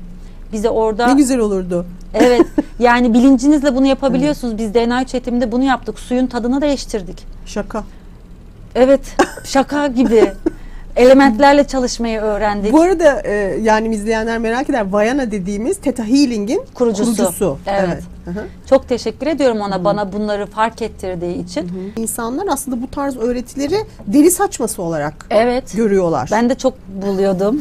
evet. yani ama din dediğimiz şey e, İslam'ın beş şartının dışında o imanın altı şartına bir kayın. Allah diyor ki meleklere iman, peygamberlere iman. E, bunu hep biliyoruz. Şimdi sayacağım ama kitaplara iman, ahiret, kaza ve kader. Meleklere iman, evet varlar iman ediyorum. Bu kadar basit değil. Allah bütün sistemi melekler üzerine kurmuş. Bu sefer biz meleklerle görüşürsünüz, konuşursunuz deyince hadi oradan sen kimsin diyor. İyi de bu sistemi benim için yaratmış. Efendimiz Aleyhisselatü'nün e, Aleyhisselatü Vesselam'ın tecrübeleri de var. Ve Efendimiz diyor ki siz diyor az konuşsaydınız ve işte düşünseydiniz benim yaptıklarımı yapar, benim gördüklerimi görür, duyduklarımı duyardınız diyor. Mesela biz peygamberlere iman noktasını da bence eksik anlıyoruz. En azından şahsım şimdiye kadar yanlış algılamış, eksik algılamış. Kendi üzerimden konuşmak isterim çünkü bunlar hep kendi üzerimden fark ettiğim şeyler. Ee, peygamberlere iman. İşte Hazreti Eyüp'ün hastalığını biliriz değil mi? Diline kadar kurtlar gelmiş, bütün beden hastalanmış. Sonra Allah diyor ki ona yere vur, çıkan suyu iç. İç sonra da onunla banyo yap diyor. Ve iyileşiyor. Biz diyoruz ki orada. E Hazreti Eyüp o peygamberdi. Allah aslında diyor ki su için şifa bulun. Hmm. Hangi hastalığınız varsa bu kurtlanmış bile olsanız dilinize kadar gelen bir hastalık bile olsa bu suyunda bu şifa var diyor. Ama sen bu suyu hakikatini ne kadar biliyorsun? Bunu suyun hakikatini bilmediğim gibi o peygamber de ona özeldi zannediyoruz. İşte peygamberlere iman aslında bu değil. O Allah peygamberler vasıtasıyla nasıl bana namazı nasıl kılacağımı, oruç, orucu nasıl tutacağımı öğrettiyse bu hayatı da nasıl yaşayacağımı öğretti. Dedi ki evet su iç şifalan dedi. O o peygambere özgü değildi. Biz eğer ben diyorum ki Allah bunu insanlar için mümkün olmadığını gösterseydi meleklerden peygamberler gelirdi. Peygamberlerin insan olmasının sebebi en büyük hikmetlerinden bir tanesi şu. Efendimiz de diyor ya ben de sizin gibi bir insanım. Hani ben de öleceğim. Bakın ölüm gibi bir hakikatle Allah bu kadar kıymet verdiği bir varlığın öleceğini söylüyor. Ee, niye? Çünkü bize şu vurgulanıyor. Bakın o da insan. Hatta Efendimizin evlenme hadiselerine dikkate çekilir. Evet. Efendimiz de nefsinin olduğundan bahsediyor. İnsan akıl, nefis ve beden bütünlüğünde yaratılmış bir varlık. Peygamberler de akıl, nefes, beden bütünlüğündedir ama onlar bu üç boyutun farkındadır. Bunu yaşarlar. Deniliyor ki sen de o ruhsal e, akılsal boyutunu, kalbi boyutunu fark et. Su içersin, şifalanırsın. E, bir bakarsın aydasın. Bir bakarsın gökyüzlerinde çıkmış Satürn feleklerinde geziyorsun. Yapabilirsin. Ama dediğim gibi benim bugünkü yaşadığım kısır hayat, tek boyutta, bedeni boyutta yaşadığım hayat bana diyor ki kızım sen etten kemikten ibaretsin, haddini bil, otur. Ama iman hadisesi işte evet ya bu bu peygamber bunu yapabildiyse işte orada suyun yarılması hadisesi, e, orada Hazreti Süleyman'ın mucizeleri, Evet. bütün eşyayı kendine hizmet ettirmeleri. Mümkün mü? Mümkün. Ama biz ne kadar hatırlarsak ki hatırlama gücü diyoruz. Bu bilgilerin hepsi bizde var zaten. Allah diyor ki e, ruhu yarattım ve ilmimi tecelli ettiğimde bu akla dönüştü diyor. Ve o akılla nefsin birleşmesiyle sen ben, benim özüm bunlarsa bütün bilgi bende mevcut. Bana düşen tek şey hatırlama gücünü kullanarak bunları hatırlamak, müfekkire gücüyle tefekkür ederek bunlar arasındaki bağlantıları kurarak ondan sonrasında bu noktada zanlarımı değiştirerek kendimi aciz, zayıf, çaresiz gören zanlarımı değiştirerek hayata gayet sahip olduğum gücü fark ederek ilahi olarak sistemsel olarak desteklendiğimi bilerek hayatta devam ettiğinde o hayat senin peşinden koşmaya başlıyor. Evet. Dediniz ya hani e, suyun tadını değiştirdik. E, ya da işte e, insan Telekinezi isterse, yaptık. Evet, insan isterse bardağı bile kaldırabilir düşünce Evet. gücüyle. Hiç gördünüz mü öyle bardağı? Bardak kaldıran görmedim. Ee, çünkü ben şu anda onun çok mümkün olduğuna inanmıyorum. Bunca şeyin sonunda. evet ama biz ne yapıyoruz biliyor musunuz? İlk e, şimdi eğitim DNA 3 eğitimine gidiyorsunuz. Evet diyor. Önünüze bir tane şey koyuyor. Böyle bir onun kendine ait bir oyuncağı var. Böyle ucunda bir iğne var. Bir tane metal var. Hadi diyor e, bunu dönder diyor sana. Ya da şu işte peçete koyuyor. Hadi bunu oynat diyor. Çünkü buradan başlıyorsunuz olaya. Çünkü aklın ikna olması lazım.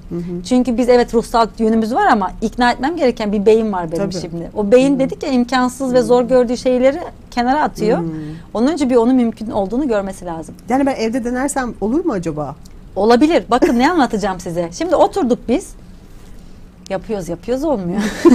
Belki olur bana ama kayıt kayıt etmem lazım tabii. Yoksa Aynen. kimseyi inandıramam. Benim Instagram adresimde kayıtlı var. Öyle mi? Var aynen. Yapabildiniz mi? Evet tabii ki. Aa, yani ne buraya diyeceğim koyalım size? montajda Siz onu. bilirsiniz. Evet. Ee, yaptığım- Bardağı mı kaldırdınız? Bardağı kaldırmadım. Oradaki alüminyum folyoyu dönderdim Hmm, tamam. gözümle.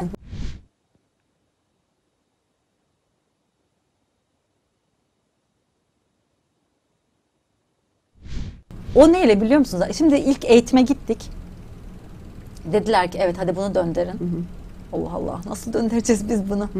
Ay, Konu başlıklarına bakıyorsunuz. Şimdi detailing eğitimlerine insanlar şöyle geliyorlar Yasemin Hanımcığım. Bakın kimseden saklanmıyor. Yapılacak başlıklar şu. Meleklerle konuşacaksın, atalarla konuşacaksın, bir bitkiyle konuşacaksın. Sonra arabana his yüklemesi yapacaksın. Arabanın lastiklerine sağlamlık yükle, yoru, yolu iyi tutuş yükle. Çünkü o bunu bilmiyor, öğrensin. O lastik olduğunu bile bilmiyor belki. Hala Aa. kendi petrol zannediyor. Yani şimdi ve bu konu başlıklarına gidiyorsun sen. İnsanlar da geldikten sonra sorgulamaya başlıyorlar. Aynen ben gibi. Arkadaş bu sefer ben eğitimlerde nasıl yapılmasının mümkün olduğunu anlatmaya başladım. Eğitim günde 5 saat. Benim bu artık boğazım ağrıyordu. Çünkü ben dinen mümkün olduğunu, işte kuantum yasaları içerisinde bunun mümkün olduğunu anlatıyorum. ikna ediyorum. Bir baktım ben eğitim anlatmıyorum. Ben ikna ediyorum insanları. Arkadaş başlıkta bu yazıyor. DNA 3 eğitimi. Suyun tadını değiştireceğiz. Tatlı ya da tuzlu yapabiliyoruz. Ondan sonra işte telekinezi yapacağız. Teleport yapacağız. Ne demek bunlar? Telekinezi, teleport. Telekinezi düşünce gücüyle e, bir cismi yerinden oynatmak demek. Yani siz zaten hani aslında MC kare. Bizler enerjisel birer varlığız. Karşındaki de bir enerji. Sen enerjini ona yansıttığında onu etkileyebilirsin demek. Ama biz dedik ya çok maddesel boyutta yaşadığımız için o enerjimiz çok titreşimimiz, frekansımız çok düşük. Halbuki ne güzel olurdu. Heh, o da öyle duruyor durduğu gibi sen de burada duruyorsun hiçbir temasın yok. Evet. Ama sen ne zaman ki o titreşimin yükselmeye başladığında o enerjiyi akıtabiliyorsun ona e, çok rahat onun alanına yayılabiliyorsun Hmm. ve onu döndürebiliyorsun. Bir nevi hani bir şeyi rüzgarın içine almak gibi bir şey oluyor. Hmm, evet. Dönmeye başlıyor. Fakat mesela böyle bir eğitimde işte bize şu yapıldı. Evet arkadaşlar Montana'daki eğitmenlik eğitimiydi. Bu Vayana'nın bu işlerin dışında bir de iş yeri var. Şimdi herkes oraya gidecek. Hmm. Bakın adres falan da yok. Bizde isim önemli değildir zaten. Çünkü beyin bilir ne yapacağını. Hmm. Çünkü o bilgi onda var. Yeni duyduğunu zannettiğin şeyin bilgisi bile sende zaten eskiden vardı. Yoksa bu bilgi sana zaten gelmezdi. Gelmez. Hmm. Dediler ki evet şimdi Vayana'nın e, söylenmeyene üzerine oldu. Başka bir işi daha var dediler. Hadi ne yapıyoruz? Bilincimizi gönderiyoruz. Tabii ki hani beden burada, ruh burada. Yanlış anlaşılmasın. Bilinçlerle zaten biz konuşuyoruz aslında. Hani konunun başka bir boyutu orası. Evet kendi onun şeyleri var, teknikleri var. Yaptım, kendimce gittim. Görmeye başladım bir şeyler. Bu astral seyahat gibi bir şey mi? Aslında astral seyahat dedikleri şey herhalde bu. Gerçekten çok cahildim Yasemin Hanım. Ben bu işe girdim. Millet astral seyahat, astral seyahat diyor ya. Ben dedim ki ya biz zaten benim günde işte yeri geliyor 7-8 tane danışmanlığım oluyor. Ben sürekli dedim seyahatteymişim meğersem. Çünkü onunla birlikte milattan önce bilmem neredeki atasına gidiyorsun. Yeri geliyor, gelecekteki bir yere gidiyorsun. Olmadı onun bunu işte 3 yıl önce yaşamış orayı görüyorsun. Yani bunlar mümkün mü? Bunların görmenin mümkün olduğunu inandığında hani bunların zaten var olduğunu, hiçbir şeyin yok olmadığını bizler biliyoruz. Hiçbir şey yok olmuyor. Ee, bunla- bu bilgilere sen ulaşabiliyorsun bilincinle.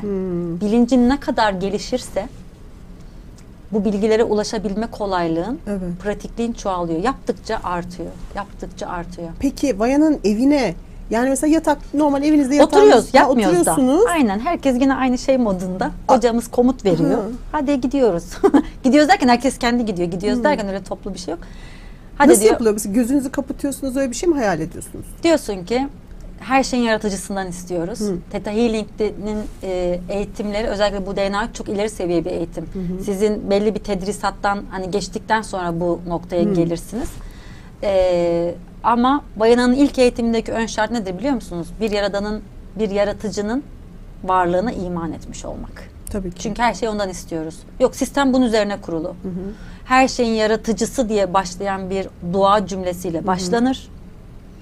Bunun yapılması rica edilir. Her şeyin yaratıcısı.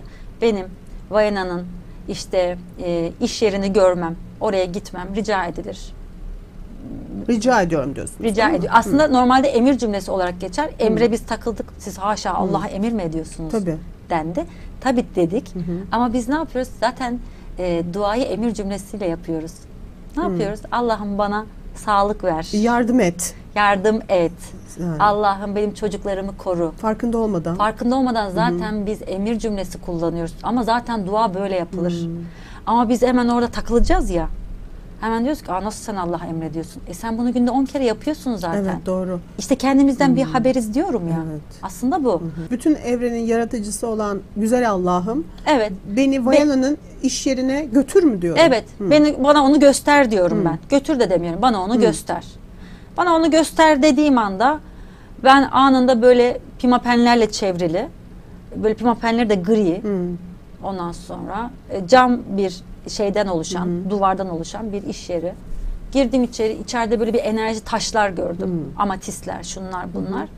Bu arada da ben taşlarla da ilgili eğitim alıyorum. Taşlarla ilgili bileklikler falan buna merak salmışım. Dedim ki kendi kendime herhalde ben uyduruyorum. Bakın eğitmeni oldum hala diyorum ki herhalde onun etkisi altında kaldım. Çünkü hep amatist görüyorum, taş görüyorum bir yerlerde. Sonra bizde eğitimler şöyle olur. Kimse aa sen sorgulanmaz. E, e, herkesin işi bitti mi? Bitti. Tamam. Kimse bir şey demiyor. Evet şimdi videoyu gösteriyorlar. Bayanın iş yeri. Sen orada görüp görmediğini anlıyorsun. Evet. Bir gösterdiler. E, aynen benim gördüğüm gibi gri işte pimapenli iç, cam içeride koca koca amatistlerin olduğu. Meğersem taş dükkanıymış. Herkes görebilmiş mi oradaki? Sormadık, sormuyorsunuz. Ee, çünkü bazen gurur meselesi yapıyorsun. Ego var işin içinde. Evet onu çünkü şunun için soruyorum. Şimdi bizi izleyenler ve ben de dahil olmak üzere bunu öğrendim ya hani Evet. e sonuçta uygulamak isteyeceğiz ve her gördüğümüz şey doğru mu? Evet, işte zaten bu konuda deneyim ve tecrübeleriniz arttıkça diyorum ya ben kadının işte e, yani önüme gelen kişinin atasına bakıp onun tarafından doğrulandım. Sonra ben bunu yüzlerce kez doğrulandıkça benim aklım ikna oldu. Aklım ikna oldukça ben bunu çok rahat yapmaya başladım. Su içmek kadar benim için basit bir şey olmaya başladı. Çünkü nasıl nefes alıp verip bunu sorgulamadan yapıyorsam benim seninle konuşurken aynı zamanda başka bir e, işte bir ruhla, varlıkla temasa geçmenin o kadar sıradan bir şey olduğunu gördüm. Seninle konuşmak kadar sıradan bir şey olduğunu fark ediyorsun bir süre sonra. Şöyle bir laf var. Ee, hani diyorlar ki bana diyorlar ki senin hayatın nasıl? Hani sen girdiğin her yerde her şeyi görüyor musun? Hani şu konuşuyor, bu konuşuyor. Spiritüellikle diyor delilik arasında çok ince bir çizgi vardır. Güzel. Ee, bu gördüğün şeyler, spiritüeller bunları kontrol ederler ve onların elindedir. Ama delileri bunun onun kontrolündedir. Gördüğü şeylerin kontrolün altına girdiğine o sınırın öbür Doğru. tarafına geçiyorsun. Ama burada her şey senin elinde. Yani bunların hepsini gözünüzü kapatarak soru Gözünüzü sorarak kapatıyorsunuz, soru soruyorsunuz. Diyorsunuz ki Allah'ım bana bunu göster. Bunu göster, bana duyur.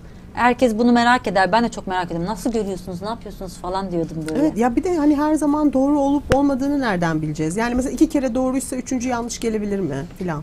Yani şöyle bir şey var Yasemin Hanım. Orada dediğiniz gibi şüphe zaten bizi en çok bu konuda aşağı çeken şeylerden bir tanesi. Hani bu suyun tadını değiştirmek, telekinezi yapmak, eşyayı oynatmak dedik ya. Mesela bu eğitimde, eğitimin önünde şöyle bir şey var. Şu inançlar üzerine çalışıyoruz. Suyun tadını değiştirmek imkansız. Bir eşya işte düşünce gücüyle bir şeyi oynatmak imkansız. Kalkıp bakıyorsunuz kinezyoloji testiyle. Evet imkansız ya da zor olduğuna inanıyorsunuz. Önce bunun üzerine ina- çalışma yapıyorsunuz. Ben e, gözümle şu eşyayı yerini değiştirebileceğimi inanırsam en kötü ne olur? Hmm.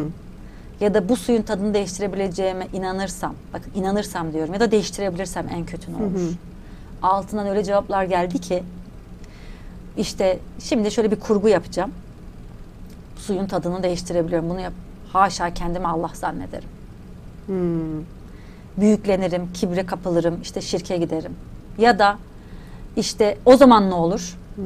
Yaradandan uzaklaşırım. O zaman ne olur? İşte cezalandırılırım, cehenneme giderim. Başka bir kurgu anlatayım size. Bunları yapabileceğime inanırsam en kötü ne olur? Bu sefer e ben bunları yaparım bu sefer. O zaman ne olur? Kibirlenir, büyüklenirim. O zaman ne olur? Ee, öyle bir gurur ve kibre kapılırım ki e, itici olurum. O zaman ne olur? İşte ailemden uzaklaşırım, çevremden uzaklaşırım. O zaman ne olur? Yalnız kalırım. E, peki o zaman ne olur? Pişman olurum. Peki bu pişmanlığı ilk nerede hissettin diyoruz. O telekinezi o o kadar alakasız bir mevzuya bağlanıyor ki. Hmm. O pişmanlığı yaşama korkusuyla, oradaki olayı tekrar etme korkusuyla yani telekinezi hayatında hiçbir zaman belki gündemin olmayan bir şeyin alt nedeninin Hmm. çok derinlerdeki bir yaşanmışlık. Bazen senin de diyor ki kişi ya ben böyle bir şey yaşamadım. O zaman diyoruz atalarından biri olabilir mi? Onu da biz ruhsal olarak aslında görebiliyoruz. Kinezyoloji testiyle de bunu biz test ettiriyoruz. Şimdi karşıma benim ben öyle olduğum için çok akılcı mantıkçı kişiler de geliyor. Okuma yapıyorum ki bu okumalarımızda neye rastlıyorum biliyor musunuz? Benim bugününün insanlarında abartılı bir rakam değildir. Yüzde doksanı ölü ya da yok İnsanların. insanların. Yani canlı olarak normalde gördüğümüz insanlar Evet. ölü. Aynen. Ya da yok. Şu surette yok. Bilinciyle var. Et, kemik, konuşuyor, yiyor, içiyor.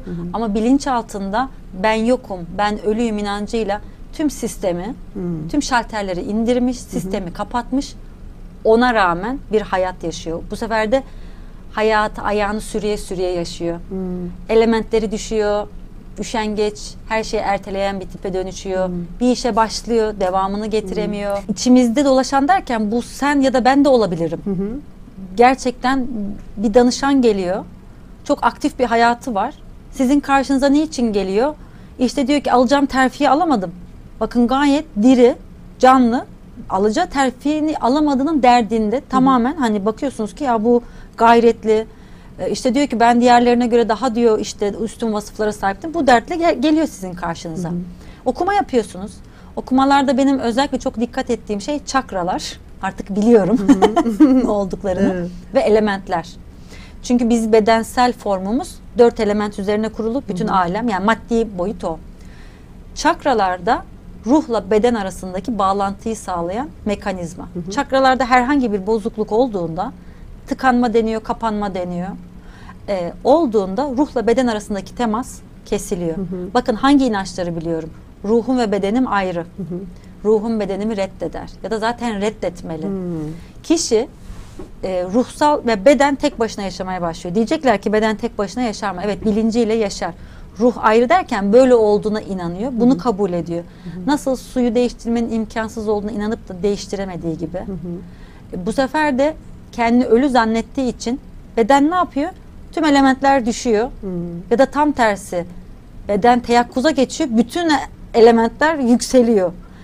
Bazen işte ateş elementinin insan hayatındaki fonksiyonu hani beden yaşam enerjisi diyoruz ama aynı zamanda e, e, yani ateş elementi dengeli olan bir kişi e, birilerini motive eder. Kendi çok rahat motive olur. Çok çabuk harekete geçebilir. Bir işi çok rahat başlatabilir. Özgüveni yerindedir. E, özgüveni yerinde olan insana da ne dersen hemen kalkıp bunu yapar. Ateş elementi dengesiz olduğunda kişi özgüveni düşük olur.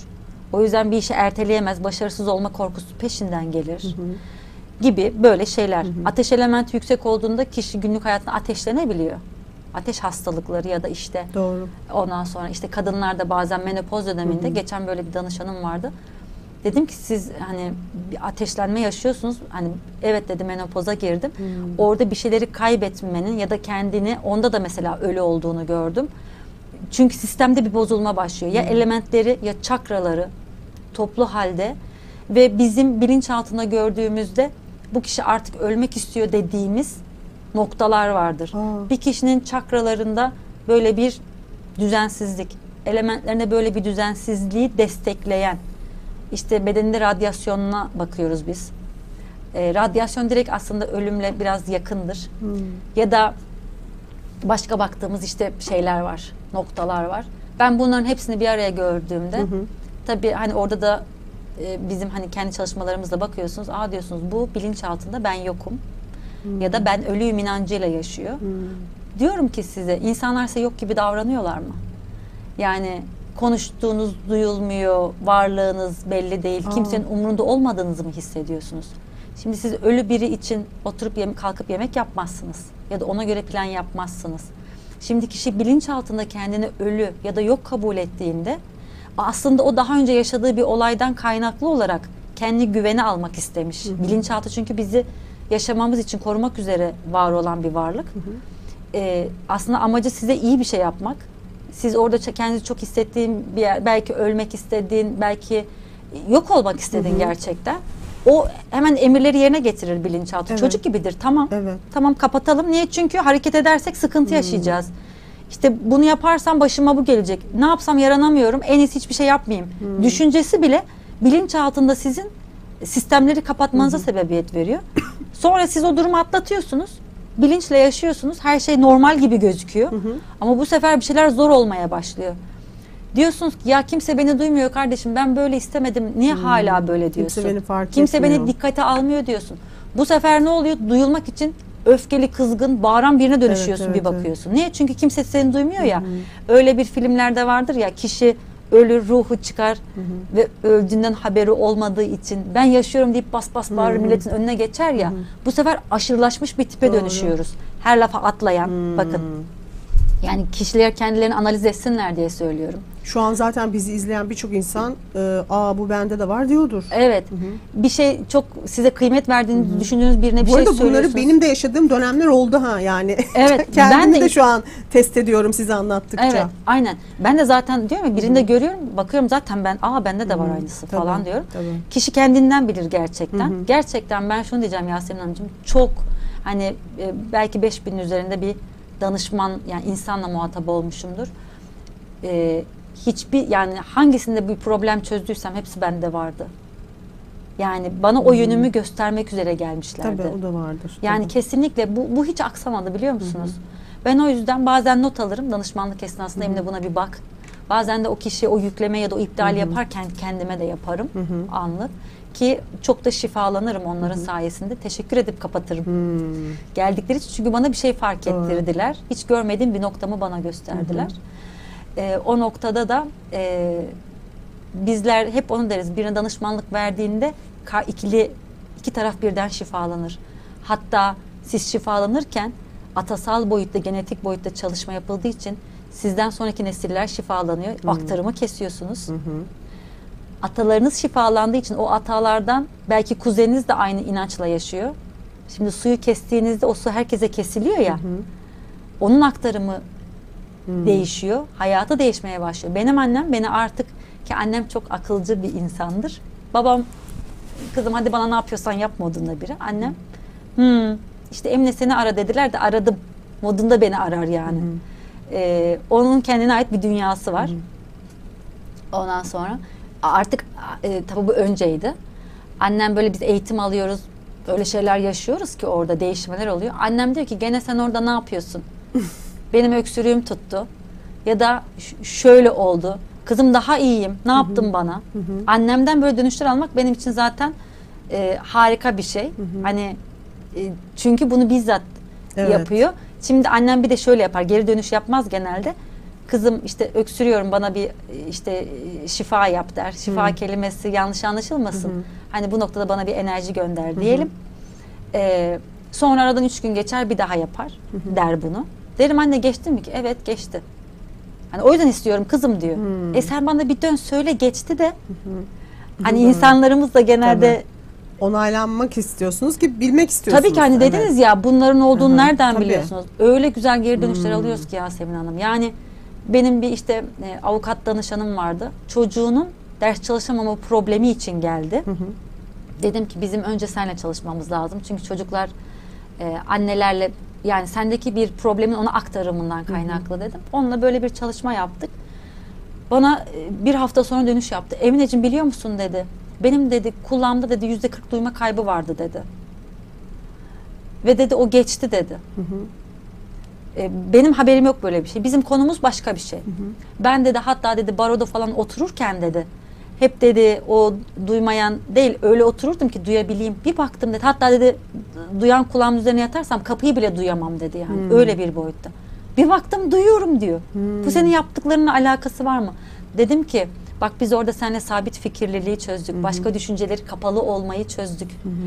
Ee, insanların düşüncelerini dikkate almayı sana yükledik. Ondan sonra açık fikirli olmak. Çünkü kulak problemleri bu böyle minik bir e, benim fark ettiğim bazı kitaplarda bulacağınız bir bilgidir. Siz eğer başka düşünceleri kapalıysanız hani çocukken yapardık ya nı nı nı nı nı yapardık Evet, duymamak hı hı. için. Kulak çınlamaları, arkasından duyma kayıpları olarak hayatınızda işte kimseye duyamıyorsun. Zaten kapalıydın. Beden direkt ya da işte bir yere gitmek istemiyorsun dizlerin ağrımaya başlıyor. Bahane. Değil mi? Evet ya bak gerçek ha bu arada. Hani hastalık hastası dediğimiz tipler bence çok değiller. Gerçekten onlar istemedikleri, yapmadıkları için beden onlara hizmet etmek üzere verilmiş ya. Doğru. Yani burada İbrahim Hakkı Hazretleri, İbn Arabi Hazretleri ruh için şunu söylerler. Beden onlara binek olarak verilmiştir. Güzelmiş. Yani, aynen süvarisi ruhtur yani. Bu Çok bedenin güzel. süvarisi ruhtur. Ruhla beden arasındaki bağı sağlayan kalptir. Kalp bozulduğunda bu bağ kopar ya da bu bağ bozulur. O zaman işte bu beden bildiği yoldan o bilinci tırnak içerisinde aslında bilinçaltı öğrendiği ozanlarıyla bu hayatı yaşar. O hayatta böyle küçücük kıstırılmış bir hayat olur. Şunu yere ben de bıraksam düşer, sen de bıraksan düşer. Evrensel yasa. Ne bu? İşte Çekim- yer yer çekimi. çekimi yasası. Yer çekimi yasası var. İşte bir şeyin her şartta ve koşulda gerçekleşiyorsa bu var dersin. E sen, senin hayatında başka, benim hayatımda başkaysa bu demek ki benimle alakalı. Doğru. Konuyu oraya getiriyorum. Sonra diyorum ki evet e, Yasemin e,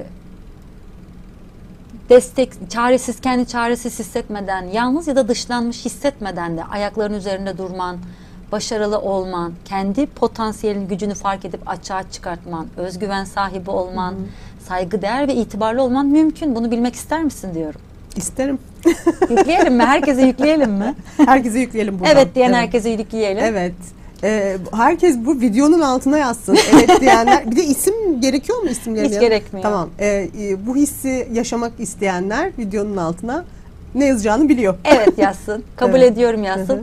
Çünkü evrensel olarak katılmaları lazım Evet. dedik ya aynı kaynak. Bak Evet. bu bu noktada ortak bir inancı varsa zaten çözülür o kişinin. Sonra da şunu diyoruz. Sen zaten güçlüsün. Özgüven sahibisin. Akıllısın. Potansiyelin yüksek. İşte itibarlısın. Bu arada sana erdemlerini hatırlatıyorum. Sen muhakeme sahibisin, muhasebe sahibisin. Bu olaylarla bunları açığa çıkarttın. Zaten böyleydin. Bunlara zaten hiç ihtiyacın olmadı ki senin Doğru.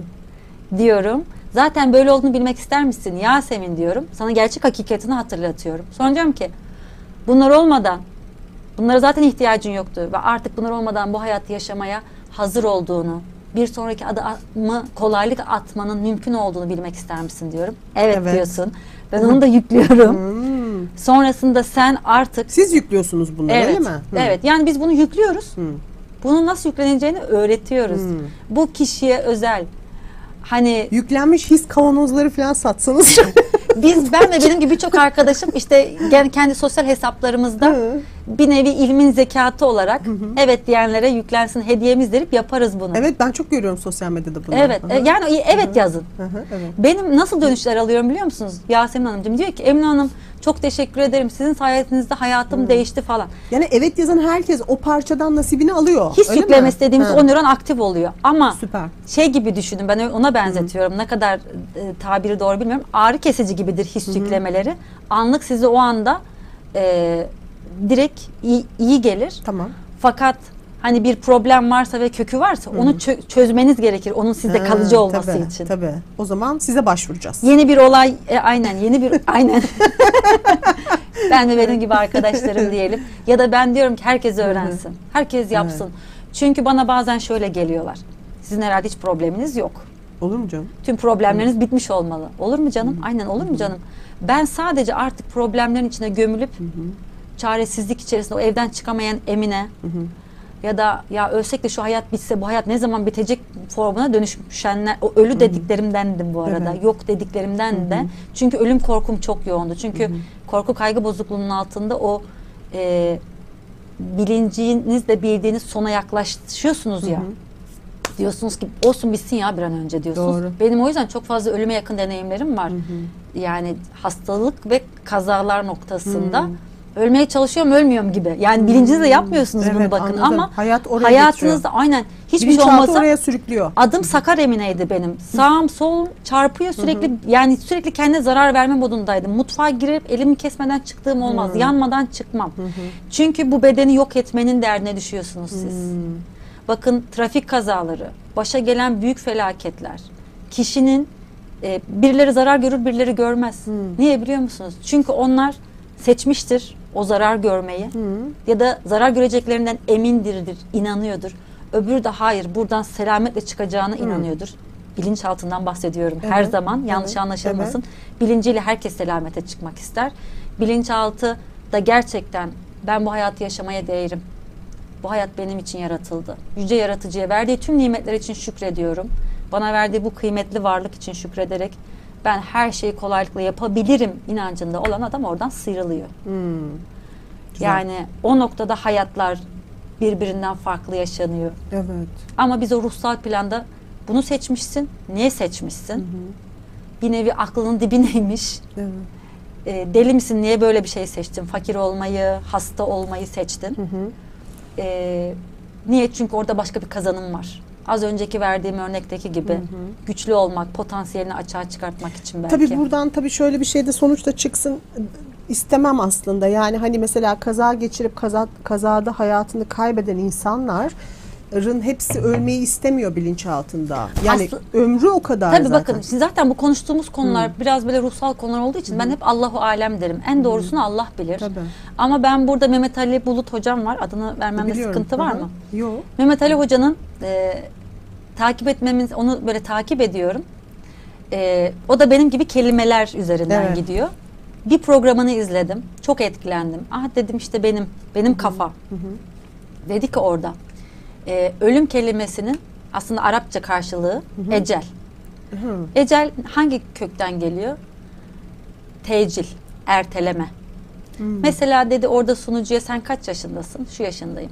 Askerliğini yaptın mı? Yapmadım. Niye işte üniversite okuyacaktım. Bu vardı, şu vardı. Ne yaptın? Tecil ettirdin.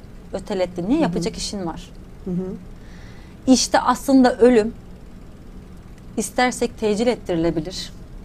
Yapacak işlerim var deyip istersek benim işlerim bitti hadi artık bana yol göründü diyebilen bunun bile insanın elinde olduğuna inanıyorum. Şahsi inancım. Şaka yapıyorsunuz.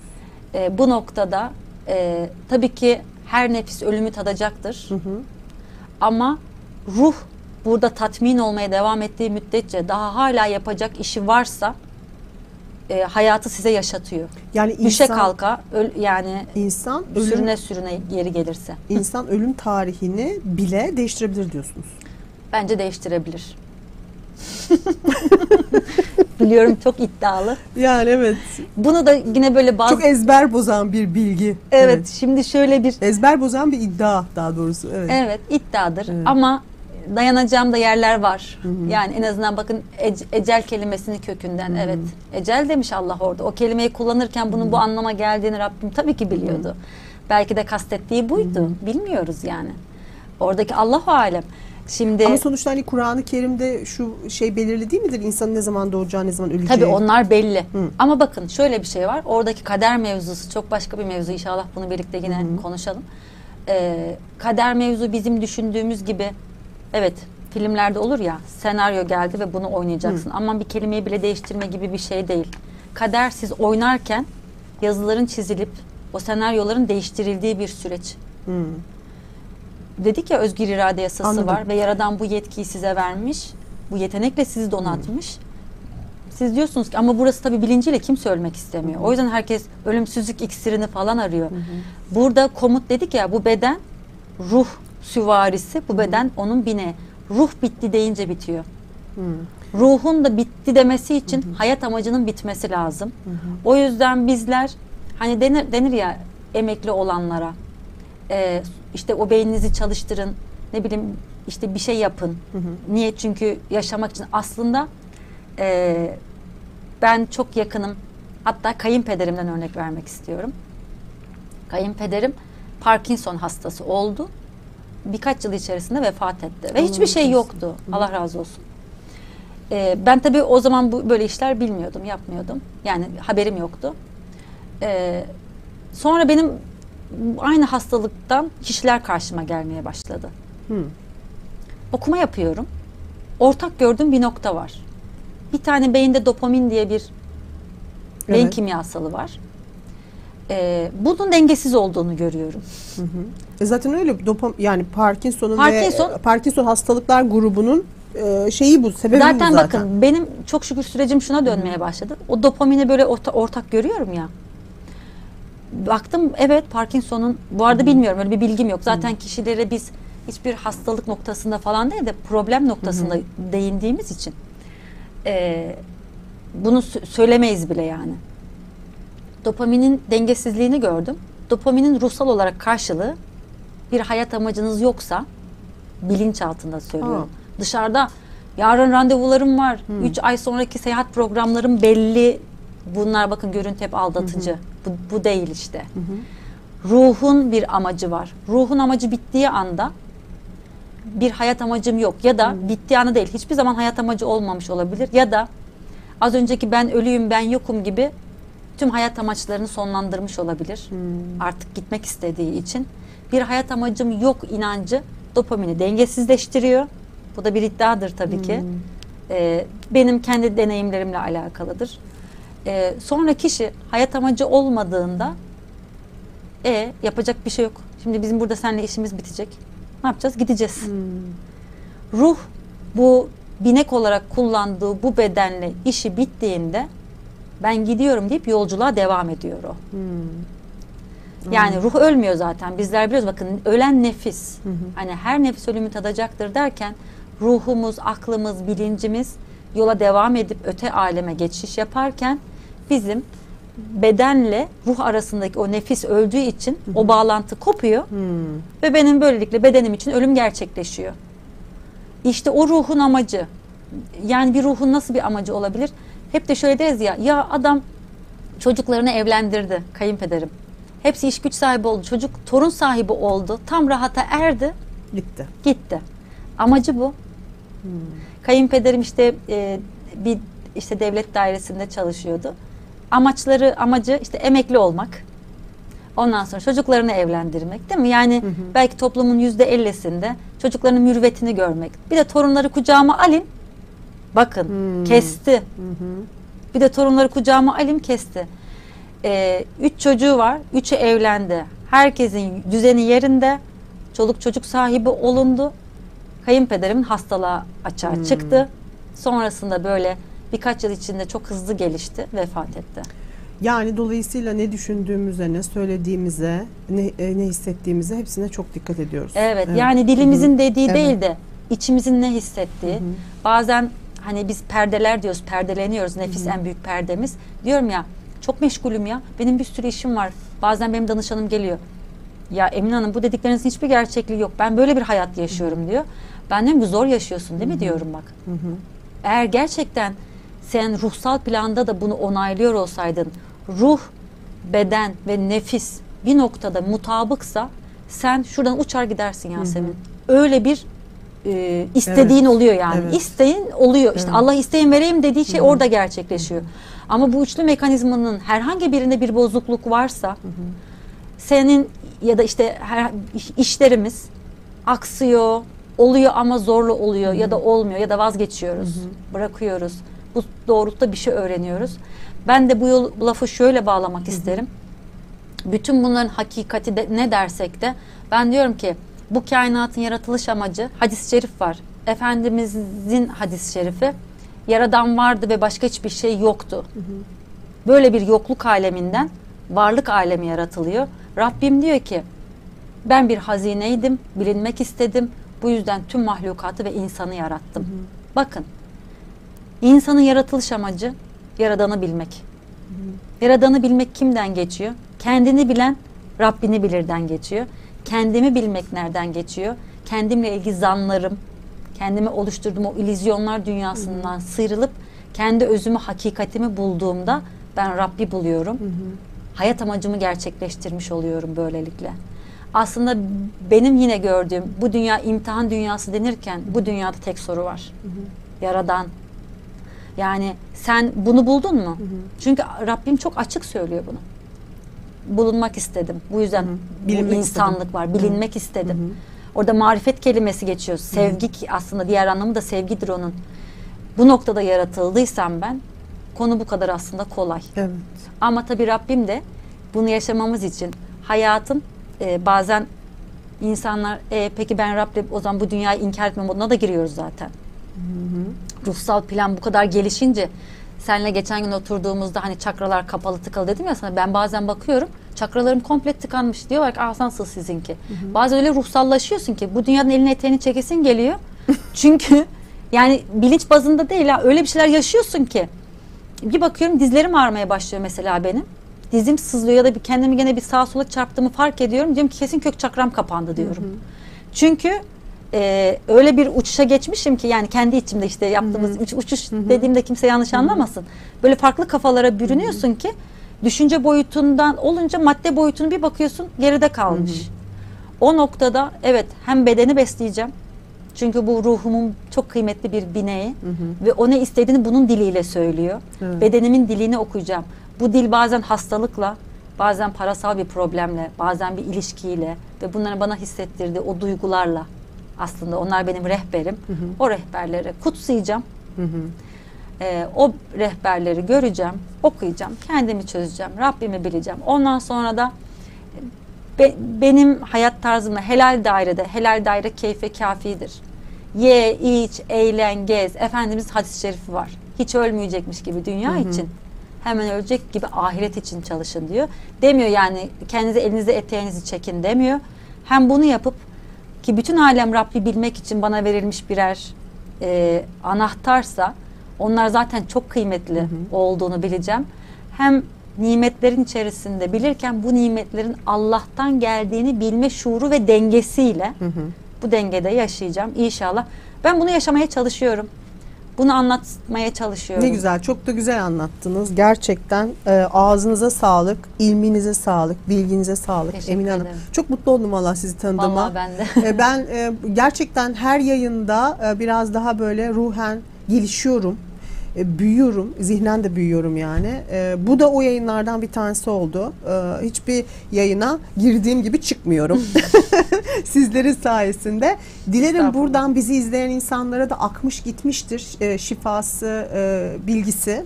İnşallah. E, ve e, lütfen ihtiyacı olan e, zaten hani hiçbir şey tesadüf değil. Kesinlikle. Bizi izleyenler de tesadüfi izlemiyorlar bu yayını. Evet. Emine Hanım'a ulaşmak istiyorsanız, e, Emine Hanım'ın eğitimlerinden faydalanmak istiyorsanız şimdi burada montajda hemen alta e, sosyal medya adreslerini bırakıyoruz. Kendisine kolaylıkla ulaşabilirsiniz. Bu güzel ruhla siz de e, şahsen vücuden de tanışabilirsiniz Evet, diyerek çok teşekkür ediyorum gerçekten. Ben E, çok keyif ederim. aldım. İyi Ben ki de. varsınız. Çok teşekkür ederim Ee, beni ağırladığın için. Estağfurullah ne demek her zaman başımla beraber e, çok teşekkür ederim. E, inşallah yineleriz. İnşallah, inşallah. Konuşacak çok konu var. Evet çok konu var. E, ben sadece hani süremiz yani bir de bu Evet. en uzun bantlarımızdan bir tanesi olacak anladığım kadarıyla çünkü konu çok keyifliydi. Sizin e, daha anlatacak çok şeyiniz var. İnşallah videolarınızı da buradan herkes takip edecektir diye tahmin İnşallah. ediyorum. Beklerim herkesi. çok teşekkür ederim ben tekrardan. teşekkür ederim. Çok sağ olun. Ee, evet dediğim gibi e, biraz önce zaten Emine Hanım söyledi. Bu hisleri bilmek istiyor musunuz diye sordu. Videonun altına hani isteyenler evet evetleri bırakabilirler. Sorularınızı, yorumlarınızı ne olur videonun altına yine e, ilave etmeyi unutmayın. Hepinizi seviyoruz, öpüyoruz. Hepinize şifa dolu günler diliyoruz. Hoşçakalın.